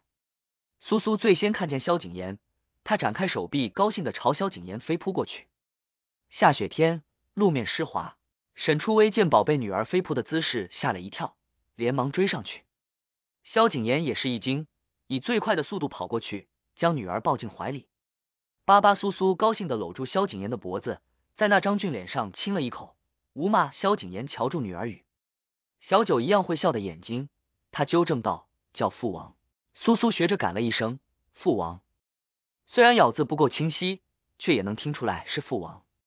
萧景琰夸道：“学得不错。”沈初微牵着儿子，看住面前的父女俩，连他自己也没想到会在十八岁的时候完成结婚生子，放在以前想都不会想的事。萧景琰抱着苏苏走过来，腾出一只手牵着沈初微的手。发现他的手比自己的手还冰，外头冷，不要站在外面吹冷风。臣妾知道了。沈初微跟住萧景琰走进去，春喜将饭菜一端上桌，其中还有炉子，里面烫着菜，闻着都香。两个小家伙分别坐在餐椅上，开始吃属于自己的那份餐点。萧景琰端起碗，想起母后的生辰没几日了，母后生辰要到了，你觉得送母后什么生辰礼物比较好？沈初微将嘴里的饭菜吞进去后，才开口：“母后贵为皇后，金银珠宝不缺，绫罗绸缎自然也不缺。不过……”萧景琰追问：“不过什么？”沈初微嘿嘿一笑：“母后已经过了四十岁，女人最在乎的便是容貌。臣妾打算自制面膜和乳霜送给母后。”萧景琰又从他嘴里听见奇奇怪怪的词，有些好奇：“面膜、乳霜是什么？”沈初微想了想道。就是保养皮肤的护肤品。萧景琰想起以前母后在心里吐槽父皇嫌弃她有鱼尾纹，嫌弃她不如十几岁的姑娘，所有效果非常好的护肤品，的确是算很好的生辰礼物。这个生辰礼物不错，还是你有办法。母后待臣妾极好，臣妾当然要送母后最想要的礼物。沈初微属于别人待她好，就会加倍的待别人好。皇后对她是没得说，根本不存在什么婆媳矛盾。母后待小九，萧景琰是看在眼里，比待他这个儿子还好。不过相比以前，他与母后的关系也缓和了不少。隔天，沈初微从空间取出一些对护肤有效的中草药，开始制作面膜和乳霜。萧景琰今日不用上早朝，让人取来笔墨纸砚放在矮桌上，铺了宣纸，便将儿子抱进怀里，打算手把手教儿子学写字。陶陶拿到朱笔就开心到不行。就在这时，萧景颇气呼呼的从外头大步流星的走进来，哥，父皇居然让我把林星一起娶了。今日萧景波又提了娶妃事宜，皇帝答应了，不过要他把韩姑娘与林星一起娶了，同为侧妃。第四百五十三章，这爱称真不要，气死太后可还行？沈初微抬起头，便看见萧景波脸色有些不好看，明显是被气的。在榻上坐下来时，连衣摆也不撩了。任其压在屁股下面，他发现皇帝三宫六院，唯独萧景琰和萧景波没有继承皇帝的花心，反而很专一。苏苏正抱着小白玩，看见小黄叔来了，他高兴的跑过来，一把抱住他的大腿。小黄，抱抱。小黄叔的叔发音有些难，所以每次看见萧景波，直接喊小黄。萧景波带两个侄子非常好，所以两个宝贝与他很亲近。萧景波弯腰抱起苏苏。并纠正道：“苏苏是小黄叔，不是小黄。为什么知道苏苏喊的是小黄？还得从一只小黄狗说起。萧景玉每次叫宝贝们喊小黄叔，可苏苏每次都喊小黄，他以为是黄，直到他指着狗告诉苏苏那是小黄狗。苏苏来了一句：你也是小黄。萧景波，苏苏很认真的重复一遍：小黄苏。萧景颇直接放弃了，待你再长大一点。”我再纠正你，萧景琰其实早就知道弟弟要同时娶韩姑娘与林星的事，是黄奶奶向父皇的提的要求，正巧他有读心术，提前得知了。那你打算怎么办？萧景波愤愤不平的道：“我当然不会娶林星的，我答应过韩姑娘，只娶她一人，我不能食言。”萧景琰反问：“若父皇非你要娶呢？那也不娶，要娶他自己娶，反正我不会娶，我也没那个福分一下子娶两个。”无福消受，萧景波直接放狠话了，哪有逼着人娶老婆的？萧景琰回答的言简意赅，父皇更不会娶。萧景波哼了一声，他后宫里的女人还少吗？十几岁的女人多了去了，也不差一个林星。父皇不会再纳妃了。萧景琰垂眸看住儿子写的字，他教了都是比较简单的，即便如此，对于一岁孩子来说都是很难的。萧景波冷笑，父皇也不敢了。我若是母后。就会让父皇知道鱼和熊掌不可兼得的道理。萧景琰眸色一顿，母后何尝不知道这个道理？只是身在高位，身不由己罢了。萧景波翘住二郎腿，看住苏苏正玩着他的发带上的流苏。哥，我想好了，父皇若逼我娶林心，我就带着韩姑娘私奔，让她后悔去。萧景琰抬起头看向弟弟，这点和母后有些像。当初母后可是想过无数次离宫出走，终于在宝宝满月后跑了一次。逃避不是解决问题的办法，我不是没解决的办法吗？只能私奔了，反正韩女还是不会介意的。萧景波说的自信满满。萧景琰淡定的回了一句：聘则为妻，奔则为妾。你想让韩姑娘为妾？萧景波闻言怔住，因为他没想到这个问题。私奔也是为了欺负皇，让他乱做主。他当然不会让韩姑娘当妾。若是想让他当妾，他早就纳她为妾了，也不会等到现在。我不会让韩姑娘为妾的。苏苏小手捧着萧景把的脸，嘴里喊住：“小黄。”萧景波没忍住，又纠正道：“我是小黄叔，不是小黄，小黄是狗，知道吗？”苏苏歪住脑袋，想了想，奶声奶气的道：“小黄是狗狗。”萧景坡怎么听都感觉苏苏在说他是狗。接下来几日，萧景坡每日都会去御书房骚扰皇帝。父皇。儿臣不会娶林星为侧妃的，只会娶韩姑娘为正妃。皇帝这两日忙得焦头烂额，雪月国近日有些不安分，他还没想出好的对策。偏偏儿子每日还过来烦他，娶一个也是娶，娶两个也是娶，你又没什么损失。萧景波忍住去先奏折的冲动，父皇，儿臣损失可大了，娶两个，儿臣陪韩姑娘的机会变少了，还浪费时间精力去应付别的女人。儿臣好歹也是王爷。哪有那么闲工夫？皇帝不得已抬起头看向儿子，瞧着他气急。的模样和皇后真真是一模一样。想到皇后，他又叹了一口气。虽然关系缓和了一些，可皇后依旧不让自己亲近。他都当了快一年的和尚了，你还好意思说自己是王爷？每日早朝你来过吗？你的封地你去看过一眼吗？你恐怕自己名下有多少房产地契都还不清楚吧？萧景把眨巴两下好看的桃花眼，因为早朝需要早起，他懒得去，反正他当的也是闲职。而父皇说的，他确实一样都不知道。皇帝又问：“你有阵忙吗？”萧景波愣住。皇帝瞧见儿子没话说了，他哼了一声：“既然没有，你怎么就没有时间陪韩姑娘了？”萧景波理亏，不代表就不敢反驳了。儿臣做不到父皇左拥右抱，儿臣只要韩姑娘，韩姑娘必须为正妃。你胆子越来越大了，还拿朕与你比较？出去，朕还有正事要忙。皇帝不想与儿子浪费时间，他还想着早点忙完去找皇后。萧景波笔直的站在龙案前，没有走的意思，而是郑重其事的道：“父皇，儿臣只想娶韩姑娘。皇帝被吵了烦了，只好给儿子指了一条明路。”要你娶林心的是太后，你若能说服太后，朕便勉强你。好嘞，儿臣告退。萧景把的高兴的转身就走。皇帝又叫住他，太后年纪大了，身子不好，说话注意分寸。儿臣知道了。萧景把说着，便急忙赶去了慈宁宫。此时慈宁宫太后正躺在榻上，享受着姬心的服侍。年纪大的腿经常发酸，捶捶会好一些。萧景波大步走进来，上前见礼。孙儿给黄奶奶请安。林星瞧见萧景波来了，起身朝萧景波扶，撩扶身，把王太后瞧见萧景波，笑着朝他招招手。玉儿来了。林星转身打算去偏殿沏茶，经过萧景波身边时，他含羞带怯的走出去。萧景玉并未注意到林星，他径直来到太后面前。黄奶奶，孙儿这次来是想告诉您，孙儿不想娶林星姑娘。太后愣了一下，没想到孙子来是为了这件事。他疑惑的问：“怎么了？林心姑娘不好吗？”萧景玉很认真的道：“林心姑娘很好，可再好孙儿也不能娶她。孙儿只想娶韩姑娘。”太后恨铁不成钢：“你这孩子，韩姑娘哪里有林心好？”萧景玉道：“黄奶奶，在孙儿眼里，韩姑娘是最好的，比林心好一千倍。”太后耐心劝：“你与韩姑娘相处这么久，自然是这样想。若你娶了林心，日久相处起来。”便知道林星比韩姑娘好一千倍不止。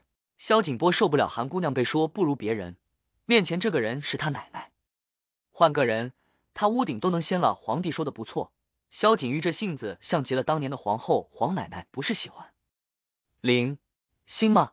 您怎么舍得让林星嫁出去呢？喜欢就要留在自己身边。太后闻言有些不高兴，应该是被气的。你这孩子怎么说话呢？林心一个姑娘是要嫁人的。这么好的姑娘，哀家才让你娶，哀家能害你不成？萧景波小声反驳：“孙儿也不会害您啊。”太后年纪大了，哪里受得了句句被人反驳？反正林心你必须娶，那个韩姑娘有什么好的？一个女人个子那么高，哀家怀疑她是不是有什么隐疾？萧景波闻言有些生气：“黄奶奶，你怎么能这样说韩姑娘呢？韩姑娘好的很，反正孙儿就喜欢韩姑娘，别的女人不想娶。你。”你太后捂住胸口，一副难受的模样。萧景波吓到不行，黄奶奶，你怎么了？下一秒，太后便晕过去。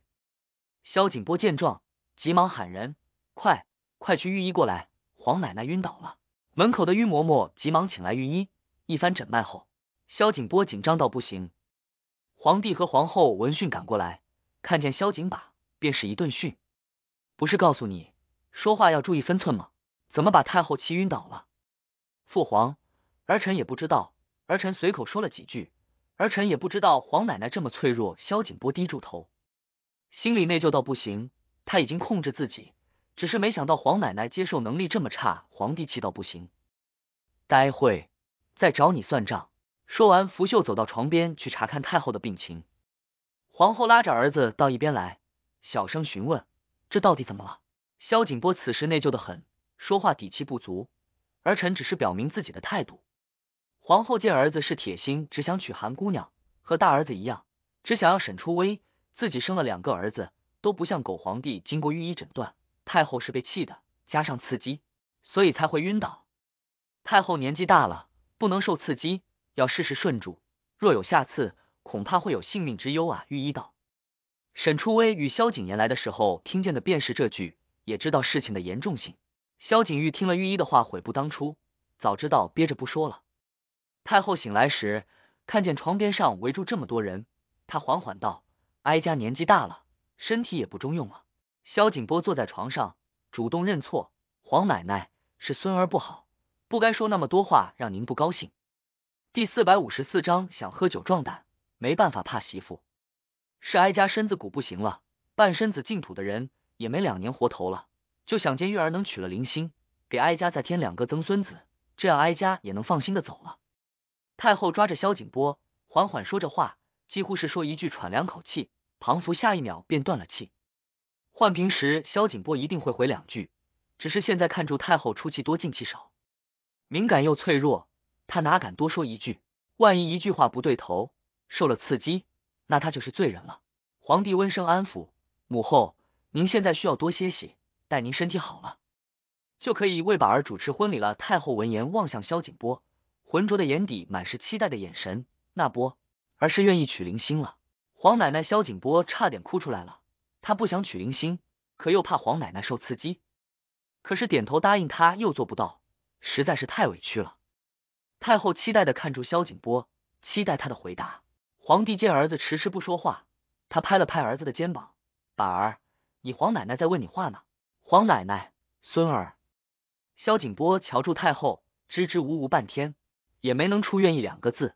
沈初微紧紧搂着萧景琰的手臂，看住萧景波被迫娶自己不喜欢的女人，同时又要对心爱的女人食言，顿时有些心疼他，也让他见识到，即便是身为王爷的萧景波，最受宠的皇子，自己的婚事自己却做不了主。他抬起头看向萧景琰，想当初他刚立太子那会，皇后可是找了二十个女人供他挑选，真难为他了。不过当时的萧景琰并没有选，而是将那妃纳妾一事让皇后全权负责了。萧景琰发现沈初微看过来的视线，垂眸瞧了一眼他，只见他露出十分同情的目光，随即又露出心疼的眼神。他握紧他的手，并未言语。最终，萧景波在双重压力下被迫点点头。太后这才露出笑脸，不怪哀家疼你。太后病重，需要静养，大家探望后便先后离开。萧景波神情落寞的走出来，经过廊下时遇见林心，他脚步一顿，抬起头问他：“黄奶奶的意思你怎么看？”林心缓缓抬起头，柔情似水的眸子望向萧景波，民女只身一人，太后待民女如亲人一般，民女自然是听太后的。萧景波露出一丝怜悯的的眼神。太委屈你了。说完便大步离开。林星站在廊下，看住萧景波离开的背影。萧景波真的很温柔，说话直，也没什么心机。即便当侧妃也没什么不好。萧景波没有回，直接回甘城殿，而是去了东宫。来的时候正好是晚膳时间。萧景波瞧住满桌的饭菜，侧头看向沈初微，委屈巴巴的道：“嫂子，没酒吗？”沈初微瞧着萧景把委屈的样子。看样子是想急酒消愁了。有啊，我去帮你拿。家里酒有不少，不过用膳时萧景琰没有喝酒的习惯，所以餐桌上并没有酒。沈初微取来一瓶竹叶青放在餐桌上。萧景琰扫了一眼桌上的竹叶青，只见萧景波拿起酒瓶给自己满上，端起来便一口饮尽，接着又倒第二杯。他提醒道：“喝酒可以，不准超过三杯。”萧景波举起酒杯的动作一顿。委屈巴巴的看向太子哥哥，哥，你弟都这样了，还不许多喝两杯？萧景琰淡淡的道：“喝酒解决不了问题，就是因为解决不了，我才想多喝几杯啊。待会回去不知道该怎么和韩姑娘说。”萧景把说着，便举起酒杯饮尽杯中酒。萧景琰眸色一顿，他自己也经历过，自然能体会弟弟此时的心情。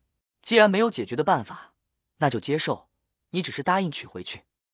又没有答应与他琴瑟和鸣，话是这么说，可娶一个人回去？韩姑娘她，萧景波心里憋闷，又给自己倒了一杯酒，仰头一口饮尽。男子汉大丈夫，说到做不到，算什么？沈初微咬了一口红烧肉，看住萧景把如此难过，便主动拿起酒瓶，给他倒酒。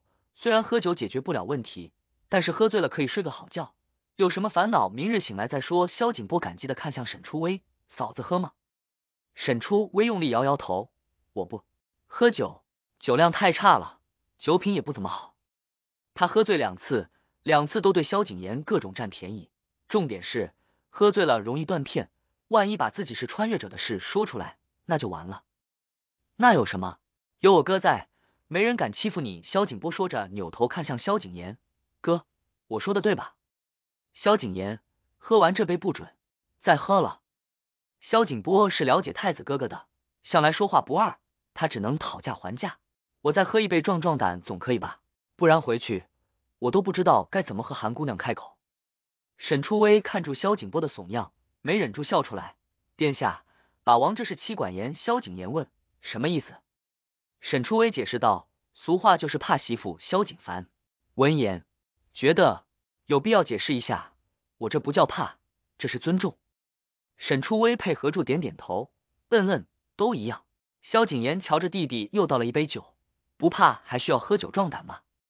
不过即便如此，萧景言还是只让弟弟多喝了一杯，便拦住他不让他喝，别喝了。萧景波露出祈求的眼神，哥，我还没醉呢，你以为喝醉了就能告诉韩姑娘这件事？萧景言淡淡的告诉弟弟真相，你只会一头睡过去。萧景波闻言想了一会，觉得太子哥哥说的有道理，所以也没再继续喝酒，只是心里唯一的寄托没了，顿时忧愁加倍。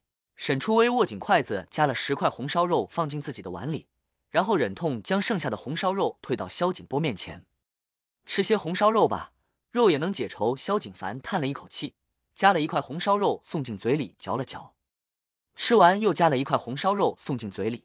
沈初微眼睁睁的看住萧景波一口接一口的把他最爱的红烧肉吃完，顿时心疼到不行，低头看住碗里的红烧肉，还好他留了十块。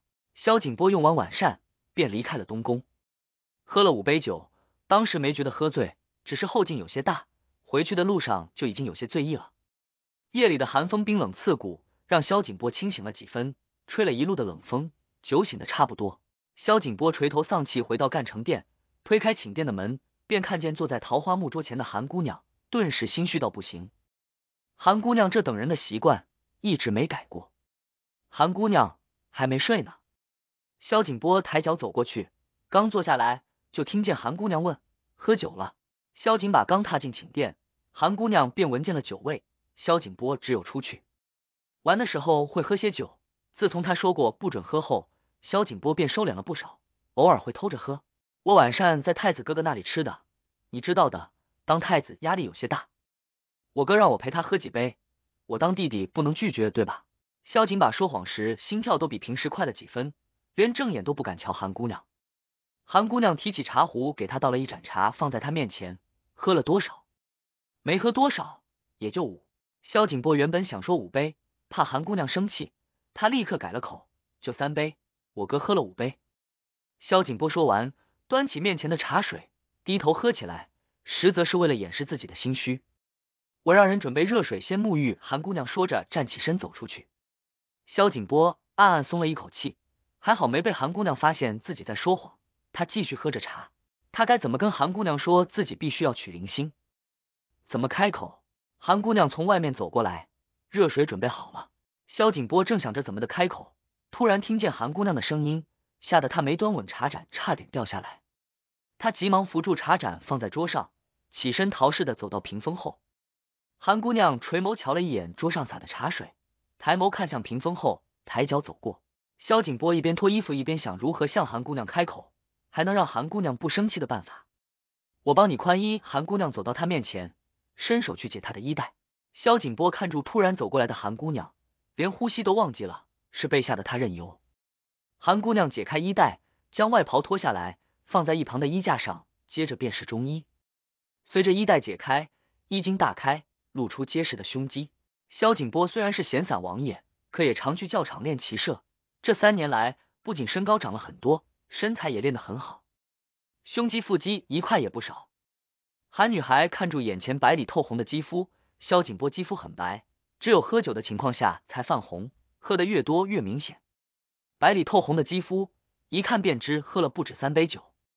萧景波此刻正心虚，韩姑娘伺候他沐浴，换做平时他还是很高兴的，顺便拉着他一起。只是现在他只想快点洗完沐浴更衣，整个过程萧景言都想开口提那件事，可是，一看见韩姑娘清冷的眼神，他就开不了口。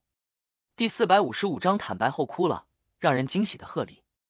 韩姑娘替萧景波系好衣带，抬起清冷的眸子望向他，见他盯住自己不说话。他伸手抚上那张俊脸，刚沐浴完，脸颊有些红。发什么呆？萧景波回过神来，心虚的牵着韩姑娘的手走向床榻上坐下来后，将她扯进自己怀里。韩女孩顺势坐在他腿上。今晚的萧景波有些奇怪，眼神闪躲，不敢看自己。平常的萧景波可是很黏他的。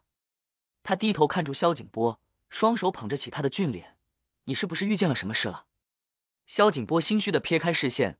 搂着他的纤腰，将头埋进他的脖颈，嗅道：“诱人的香味，顿时有些口乾舌燥。你身上好香。”韩女孩听过萧景波说过几次自己身上有香味，可偏偏自己闻不到。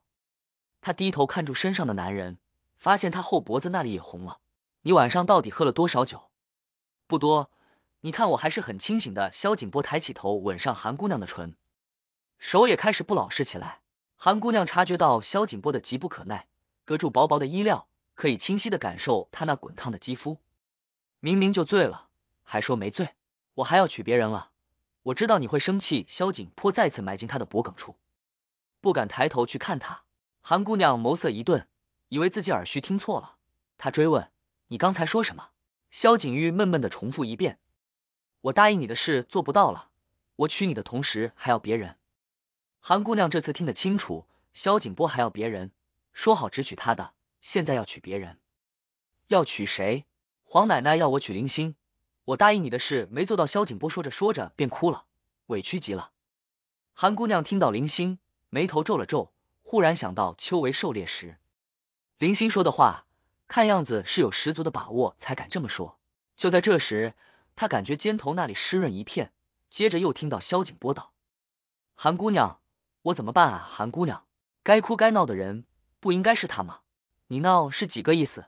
萧景波哭得极为伤心难过。我不想娶林心寒。姑娘听着萧景波哭的实在是太伤心，让他听着于心不忍，轻拍着他的后背安抚道：“那就不娶。可是不娶，我黄奶奶可能会被我给我气死。”萧景波紧紧抱着韩姑娘，太过伤心难过，那眼泪一直没停过。韩姑娘这会是算明白了，是老不死的逼住萧景波去娶林心。像萧景波的性子。若不是自愿想娶，谁也不管不了他。可是老不死的是萧景波的黄奶奶，从小就疼萧景波，他心善，又怎么会不顾黄奶奶的安危？那便娶。萧景波闻言难过的心口发疼，他猛地抬起头看向韩姑娘：“你怎么能让我娶别的女人呢？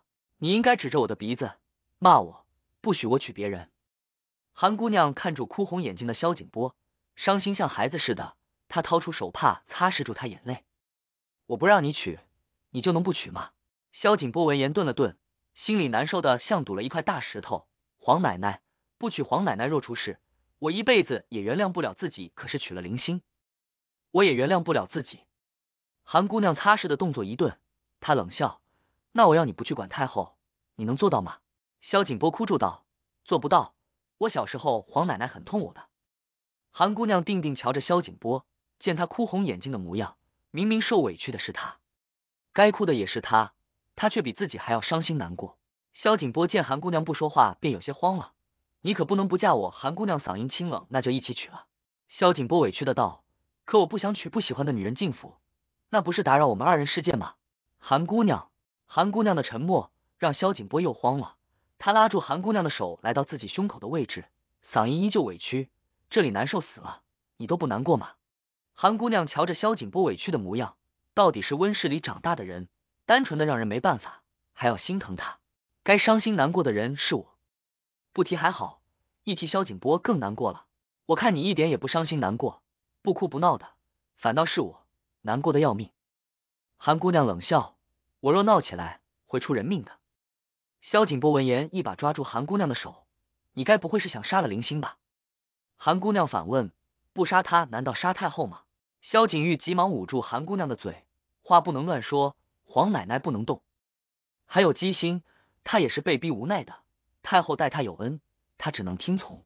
韩姑娘挑眉，还没过门，你就护着她。萧景波急忙解释道：“我没护着她，嫁给一个不喜欢的人，也是十分痛苦的事。”韩姑娘，你还是可怜可怜自己吧。萧景波再次将她拥进怀里，贴着她耳边道：“我有你，怎么会可怜？”韩姑娘凉凉的开口：“可你要娶别人。”萧景波又难受又委屈起来，所以我好难过，你都不安慰我。韩姑娘忍不住提醒：“你是男子。”萧景波道：“男子就不配伤心难过了吗？娶一个不喜欢的人，已经是天大的委屈了。”韩姑娘，萧景波抬起头抱住她，一起滚进床里，低头看住身下的人，很认真的道：“你给我生一个孩子吧，你生的孩子一定和苏苏一样可爱。”韩姑娘闻言顿了顿，瞧着萧景波一脸期待的模样。她问：“若生不出来呢？”萧景波疑惑的问：“怎么会生不出来？”韩姑娘没回答，主动搂着萧景波的脖子，抬起头吻上他的唇。萧景颇有些情动，腾出手放下床幔，遮住屋内的灯光，同时也遮住床内见风光。皇帝想着皇后的生辰要到了，也打算为她准备一份礼物。他想送一个特别的礼物给皇后。等到皇后生辰那日，皇帝举办了隆重的生辰宴。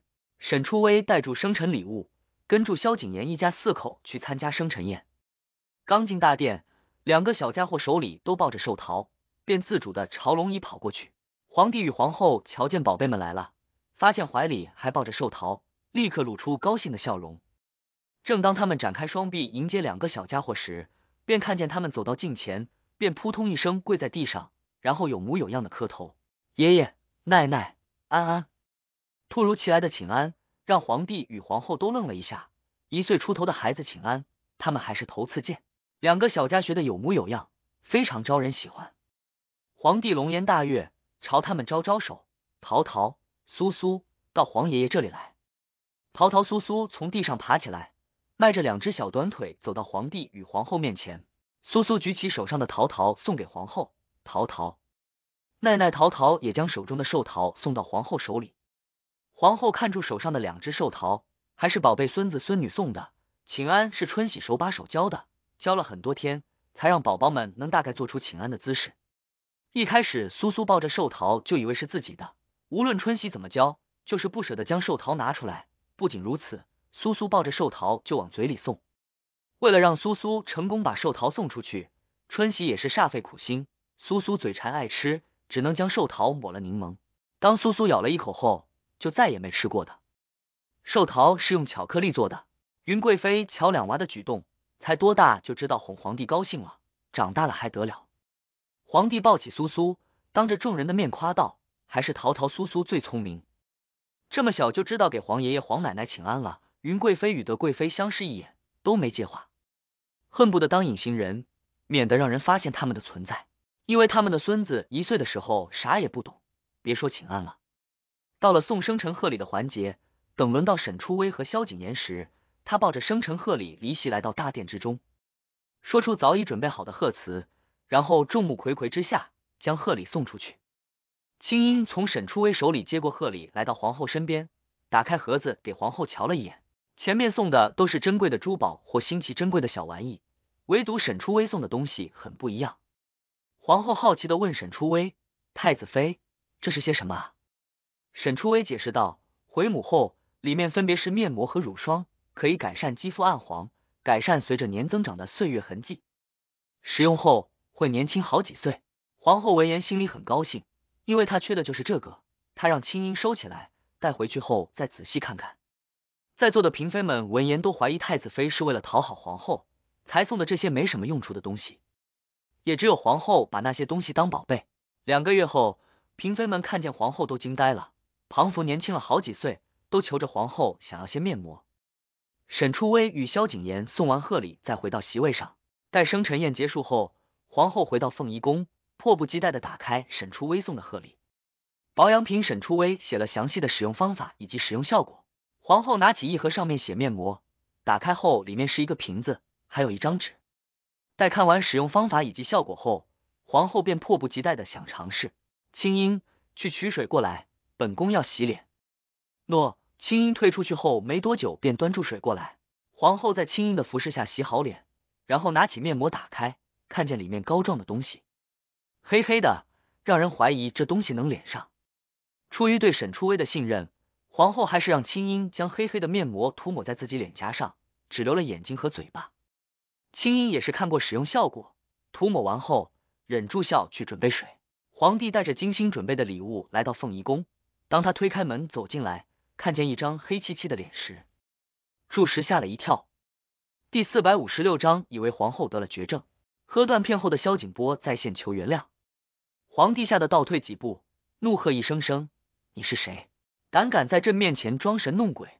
凤仪宫虽然点了很多盏宫灯，光线依旧很暗。突然看见一张发黑的脸，也不怪他会吓到皇后。原本是躺在贵妃榻上，想到沈初微送的乳霜，便想拿过来瞧瞧。谁知道站起身就看见狗皇帝来了。一副见了鬼的模样，本来还想着行礼，现在不动手就不错了。皇上这话是什么意思？连臣妾也认不得吗？使用说明那里提醒过，面部动作不宜过大，很容易加深法令纹的。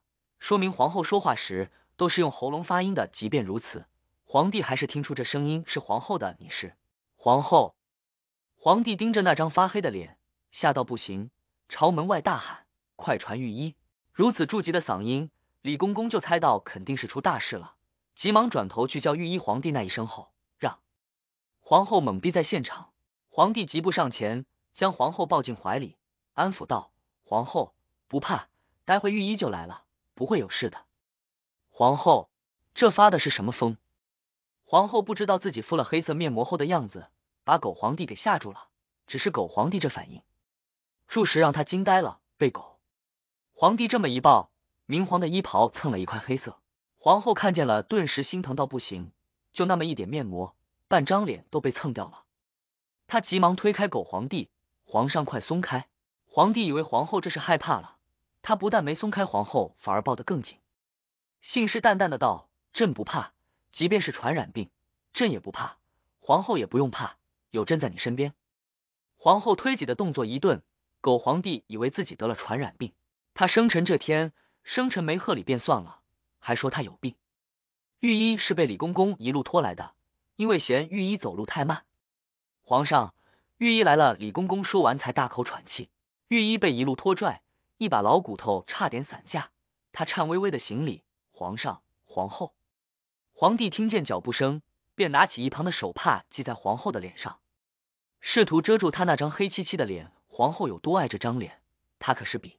谁都清楚，若让别人瞧见这张脸，皇后哪里接受的了？皇后一脸懵逼。皇帝急声命令道：“快给皇后诊脉。”是是是。御医连到三声是，便提着药箱走进来。皇后被皇帝牵着来到榻上坐下来，然后拿出她的手给御医诊脉。御医按部就班的掏出方帕，搭在皇后露出来的一截白皙的手腕上。刚诊完脉，皇后便站起身走向脸盆，因为时间到了，该洗脸了。皇帝急问御医：“皇后如何了？”御医躬身回道：“回皇上，皇后身体安康，并无大碍。”皇帝追问：“那皇后的脸为何会变成那样？”御医支支吾吾半天，一句话也没说出来。皇后洗好脸，便来到梳妆台前，拿起乳霜，打开盖子，用手指腹沾了一点，均匀的涂抹在脸颊上。皇帝一眨不眨的盯着皇后瞧了半天，刚才还黑乎乎的脸。这会变得很白净？难道朕刚才看眼花了？黛玉一走后，皇帝起身来到皇后身边，低头盯住她那张脸瞧了好一会儿。灵儿，你刚才的脸怎么是黑色的？因为臣妾敷了面膜。皇后拿出沈初微送的面膜给皇帝看，皇帝打开盖子，便看见黑漆漆的东西，这就是皇后刚才抹脸上的，他还以为毁容了呢。皇后照镜子，摸着自己的脸，发现光滑细腻了不少。看来效果还是不错的。皇帝合上盖子，将面膜放回原位，从怀里掏出一个精致的盒子。平时赏赐嫔妃就是一句话的事，可是送给皇后礼物会莫名的紧张。迟疑许久，他将盒子递到皇后面前，温声道：“这是朕给你准备的生辰贺礼。”皇后有些惊讶的看住面前的盒子，是暗黑色的盒子，灯光下隐约可见和深的鎏金暗纹。狗皇帝居然准备了生辰贺礼，他拿过来。盒子有些分量，也不知道里面什么？左不过就是那些珍贵的首饰。他不抱期待的打开盒子，看见里面盒子里面躺着一只木簪，而这只木簪与十五岁生辰时狗皇帝送的那只木簪一模一样。他拿起木簪仔细瞧了两眼，簪身打磨得很光滑，梅花栩栩如生。皇后拿着簪子抬起头看向皇帝，皇上怎么想着送臣妾簪子？朕就是想试试，这么多年过去了，还不能雕出一模一样的簪子出来。灵儿觉得这簪子相比以前那只如何？皇帝满眼期待的看住皇后，之所以雕这只木簪，是因为他已经有一年没见到皇后戴了，所以想重新送一只。皇后低头瞧着手里的簪子，与以前那只很像，却又不一样，可能与心境有关系。十五岁情窦初开的年纪，不缺银不缺金的他，收到一只木质发簪，还是萧琪亲手雕琢的，自然是比得了珠宝还要开心。现在。皇后抬起头反问：“皇上觉得这只簪子与以前那只一样吗？”皇帝握住皇后拿着簪子的手，缓缓开口：“自然是不一样。同为生辰贺礼，心意相同，意义却不同。”皇后很不给面子的回了一句：“不都是为了讨臣妾欢心？”啊！被戳穿心思的皇帝有些不好意思起来。那灵儿可还喜欢？还行吧。皇后拿着簪子把玩住，那只簪子她并未带回宫。而是锁在了扶摇居那间首饰盒里，为了证明自己已经放下了。没想到狗皇帝又送了一只一模一样的簪子。虽然这个答案有些敷衍，皇帝还是很高兴的。歇息时，皇后躺在床上，看住狗皇帝慢条斯理的脱衣服上床，每次都是仗住自己是皇帝硬蹭床。当床幔拉上后，皇后闭上眼睛睡觉，感觉身后贴上来一具温热的身体，湿热的呼吸喷薄而出，正贴着后脖子上。他瑟缩了一下，皇帝不要脸的贴上来，灵儿，都过去一年了，还在生朕的气吗？臣妾不敢身后的身体紧贴着，能清楚的感受到温度在逐渐升高。他往里面挪了挪，试图离身后的人远一点。只是他刚往里面挪了一点，身后的人又紧接着贴上来，这次直接搂住他的腰。灵儿，你都不想朕吗？皇后抓住那只不安分的手，只是力气比不过狗皇帝，还是让他得逞了。许久没行房，哪里受得了狗皇帝如此撩拨？没一会功夫，皇后出于本能反应，身体很快便软下来。灵儿，皇帝埋进她脖子里，低低唤住皇后的闺名。皇帝，皇后有些抗拒的想推开狗皇帝，只是力气没狗皇帝大。皇后那句“狗皇”差点脱口而出。皇帝太久没有与皇后行房，激动之余难免有些控不住自己。深夜时分，皇后都怀疑天是不是亮了。狗狗皇帝不要休息的。皇帝附身在皇后耳边，哑声道：“朕这几年并未与他们同房，今后也不会。这几年最受宠的何妃，也只是有名无实。之前最受宠的宁妃，也是因为与皇后置气，多喝了几杯，才让宁妃趁机侍寝，有了身孕。萧景波前日喝醉了，而且还喝断片了，明明回赣城殿时还是清醒的。沐浴后醉意一下子就上来了，也说明酒的后劲很大。”隔间片的萧景波自然是不知道自己抱住韩姑娘哭的那段，堂堂男子汉居然哭得那么伤心难过。隔天，韩姑娘见萧景波忘了，便没再提起。其实喝醉后的萧景波有时真的单纯像个孩子，只是在床上时就像只小狼狗。萧景波牵着韩姑娘走在回去的路上，喝断片的他忘了自己已经坦白过了。这两天一直想找机会与韩姑娘坦白，苦于找不到合适的机会。韩姑娘抬起头看向萧景波：“你去御花园做什么？”萧景波心虚的回道：“不去御花园，咱们回家。”韩姑娘扫了一眼面前的路：“那你瞧瞧，现在往那边走。”萧景波停下脚步，抬眸望向前方，急住两边的宫灯，才发现是通往御花园的路。他收回视线，看向韩姑娘时有些尴尬：“天太黑，我没看清路。”韩姑娘并未戳穿他：“回去吧。”萧景把点点头。嗯，就在这时，寒风袭来，带着雪花。萧景波突然停下脚步，等一下。韩姑娘疑惑的询问：“怎么了？”萧景波并未说话，他双手来到身前，解开狐裘，然后披在韩姑娘身上。这三年，萧景波的身高突飞猛长，已经高出韩姑娘很多。系狐裘可以说是轻而易举的事。萧景波看住自己站住亲手系的狐裘，很得意的道：“刚认识你的时候。”我还没你高，现在我比你高了。韩姑娘抬起头看向面前的男子，初认识时他还是个少年，现在已经长大了。他主动牵着萧景波的手，回去吧，外面冷。萧景波纠结许久，还是决定趁着现在与韩姑娘坦白。韩姑娘，我有话要同你说。韩姑娘停下脚步，抬起头看向萧景波，什么话？萧景波正要开口时，被一道女声给打断。誉王。林星提着灯笼走过来，看见萧景波，上前扶了扶身。萧景波侧头便看见林星提着灯笼立在寒风中。林星姑娘，你这么晚了，你怎么会在这里？林星柔声道：“民女去了一趟太医院，正巧路过，瞧见坡王便过来了。”萧景波心想，自己正好想坦白，林星就出现了，当着韩姑娘的面，正好把这件事说开了，韩姑娘可能就没那么生气了。林星姑娘，你来的正好。第四百五十七章大婚独守空房，魏宝大夏亲自领兵，沈初微求带领。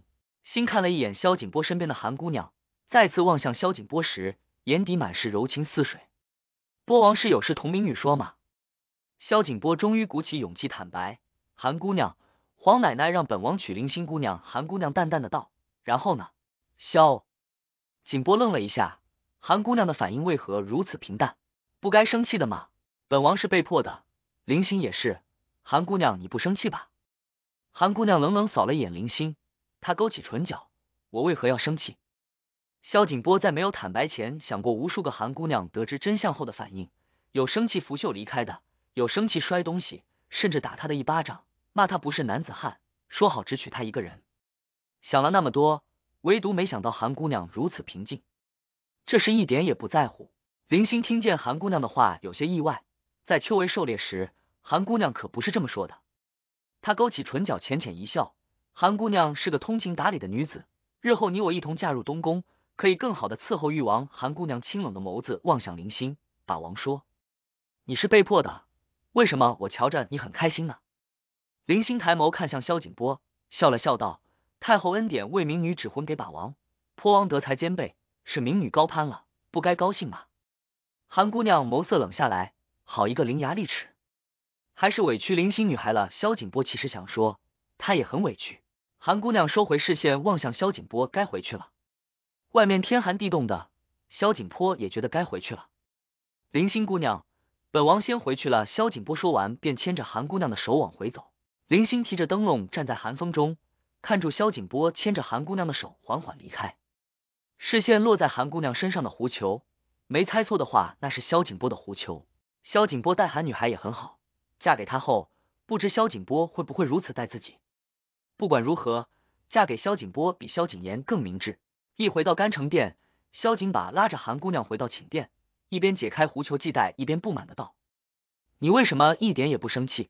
韩姑娘反问：“生气有何用？”萧景波手上的动作一顿，看住韩姑娘淡定从容的表现，明明害怕她生气，这回不生气了。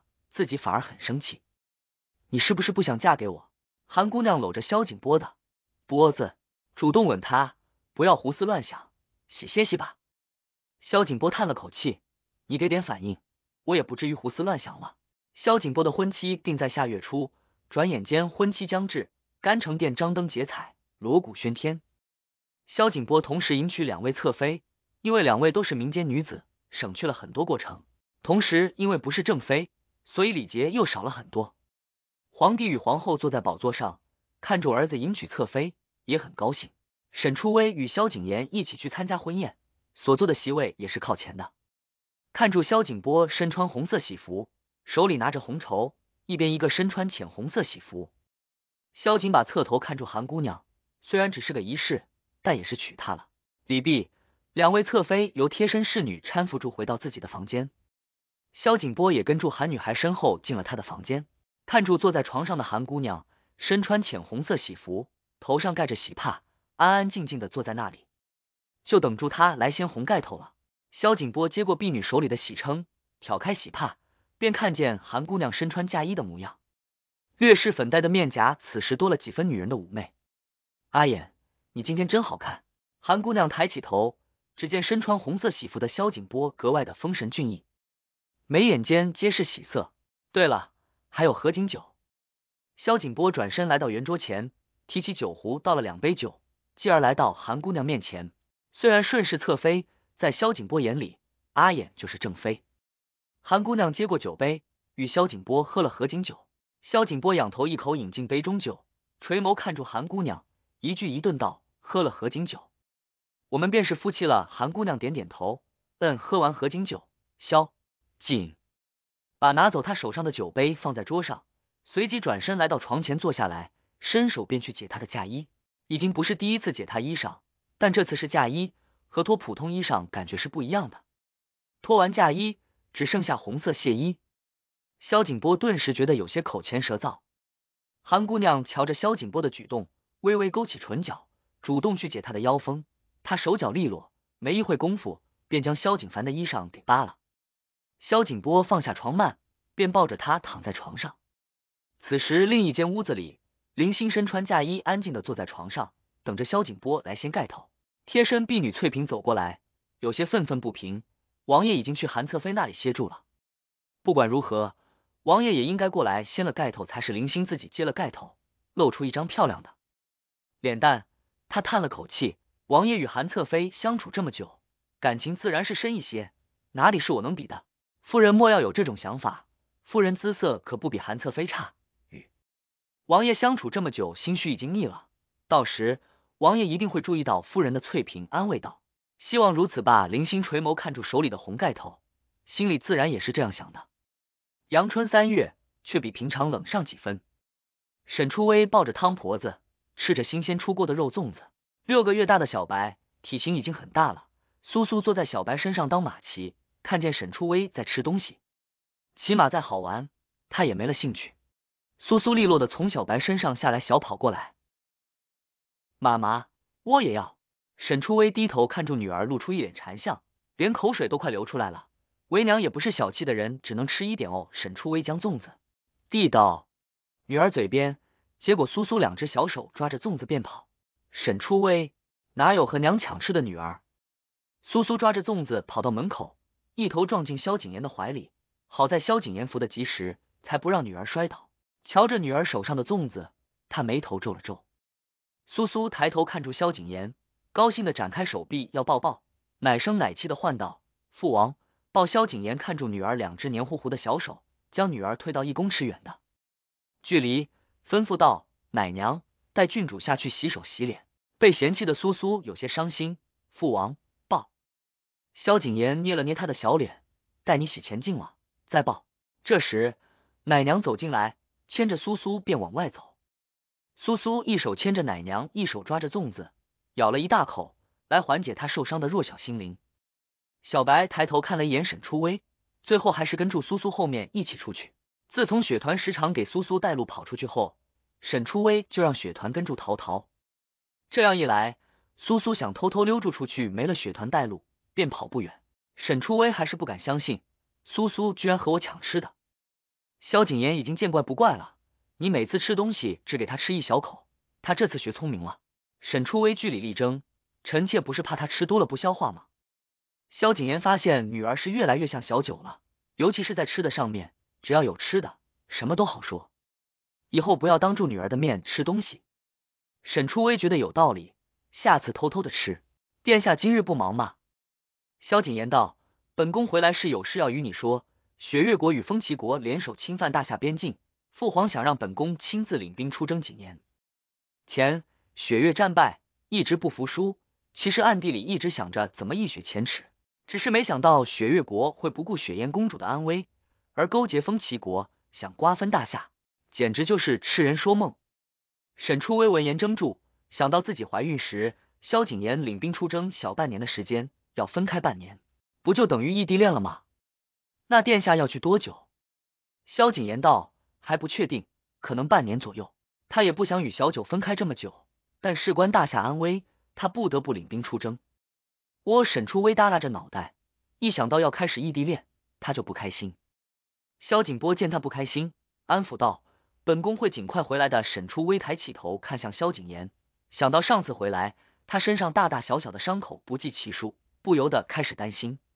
那殿下要注意安全，不能让自己受伤。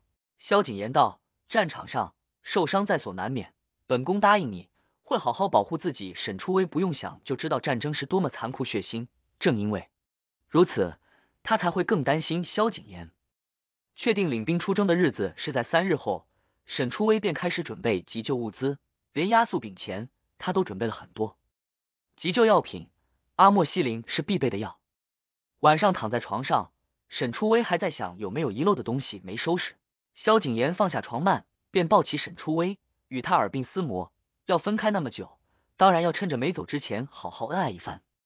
沈初微思来想去，还是决定了一件事：虽然军营没宫里舒服，可相比萧景琰的安全才是最重要的。他一把抱住萧景琰，殿下，你带臣妾一起去吧。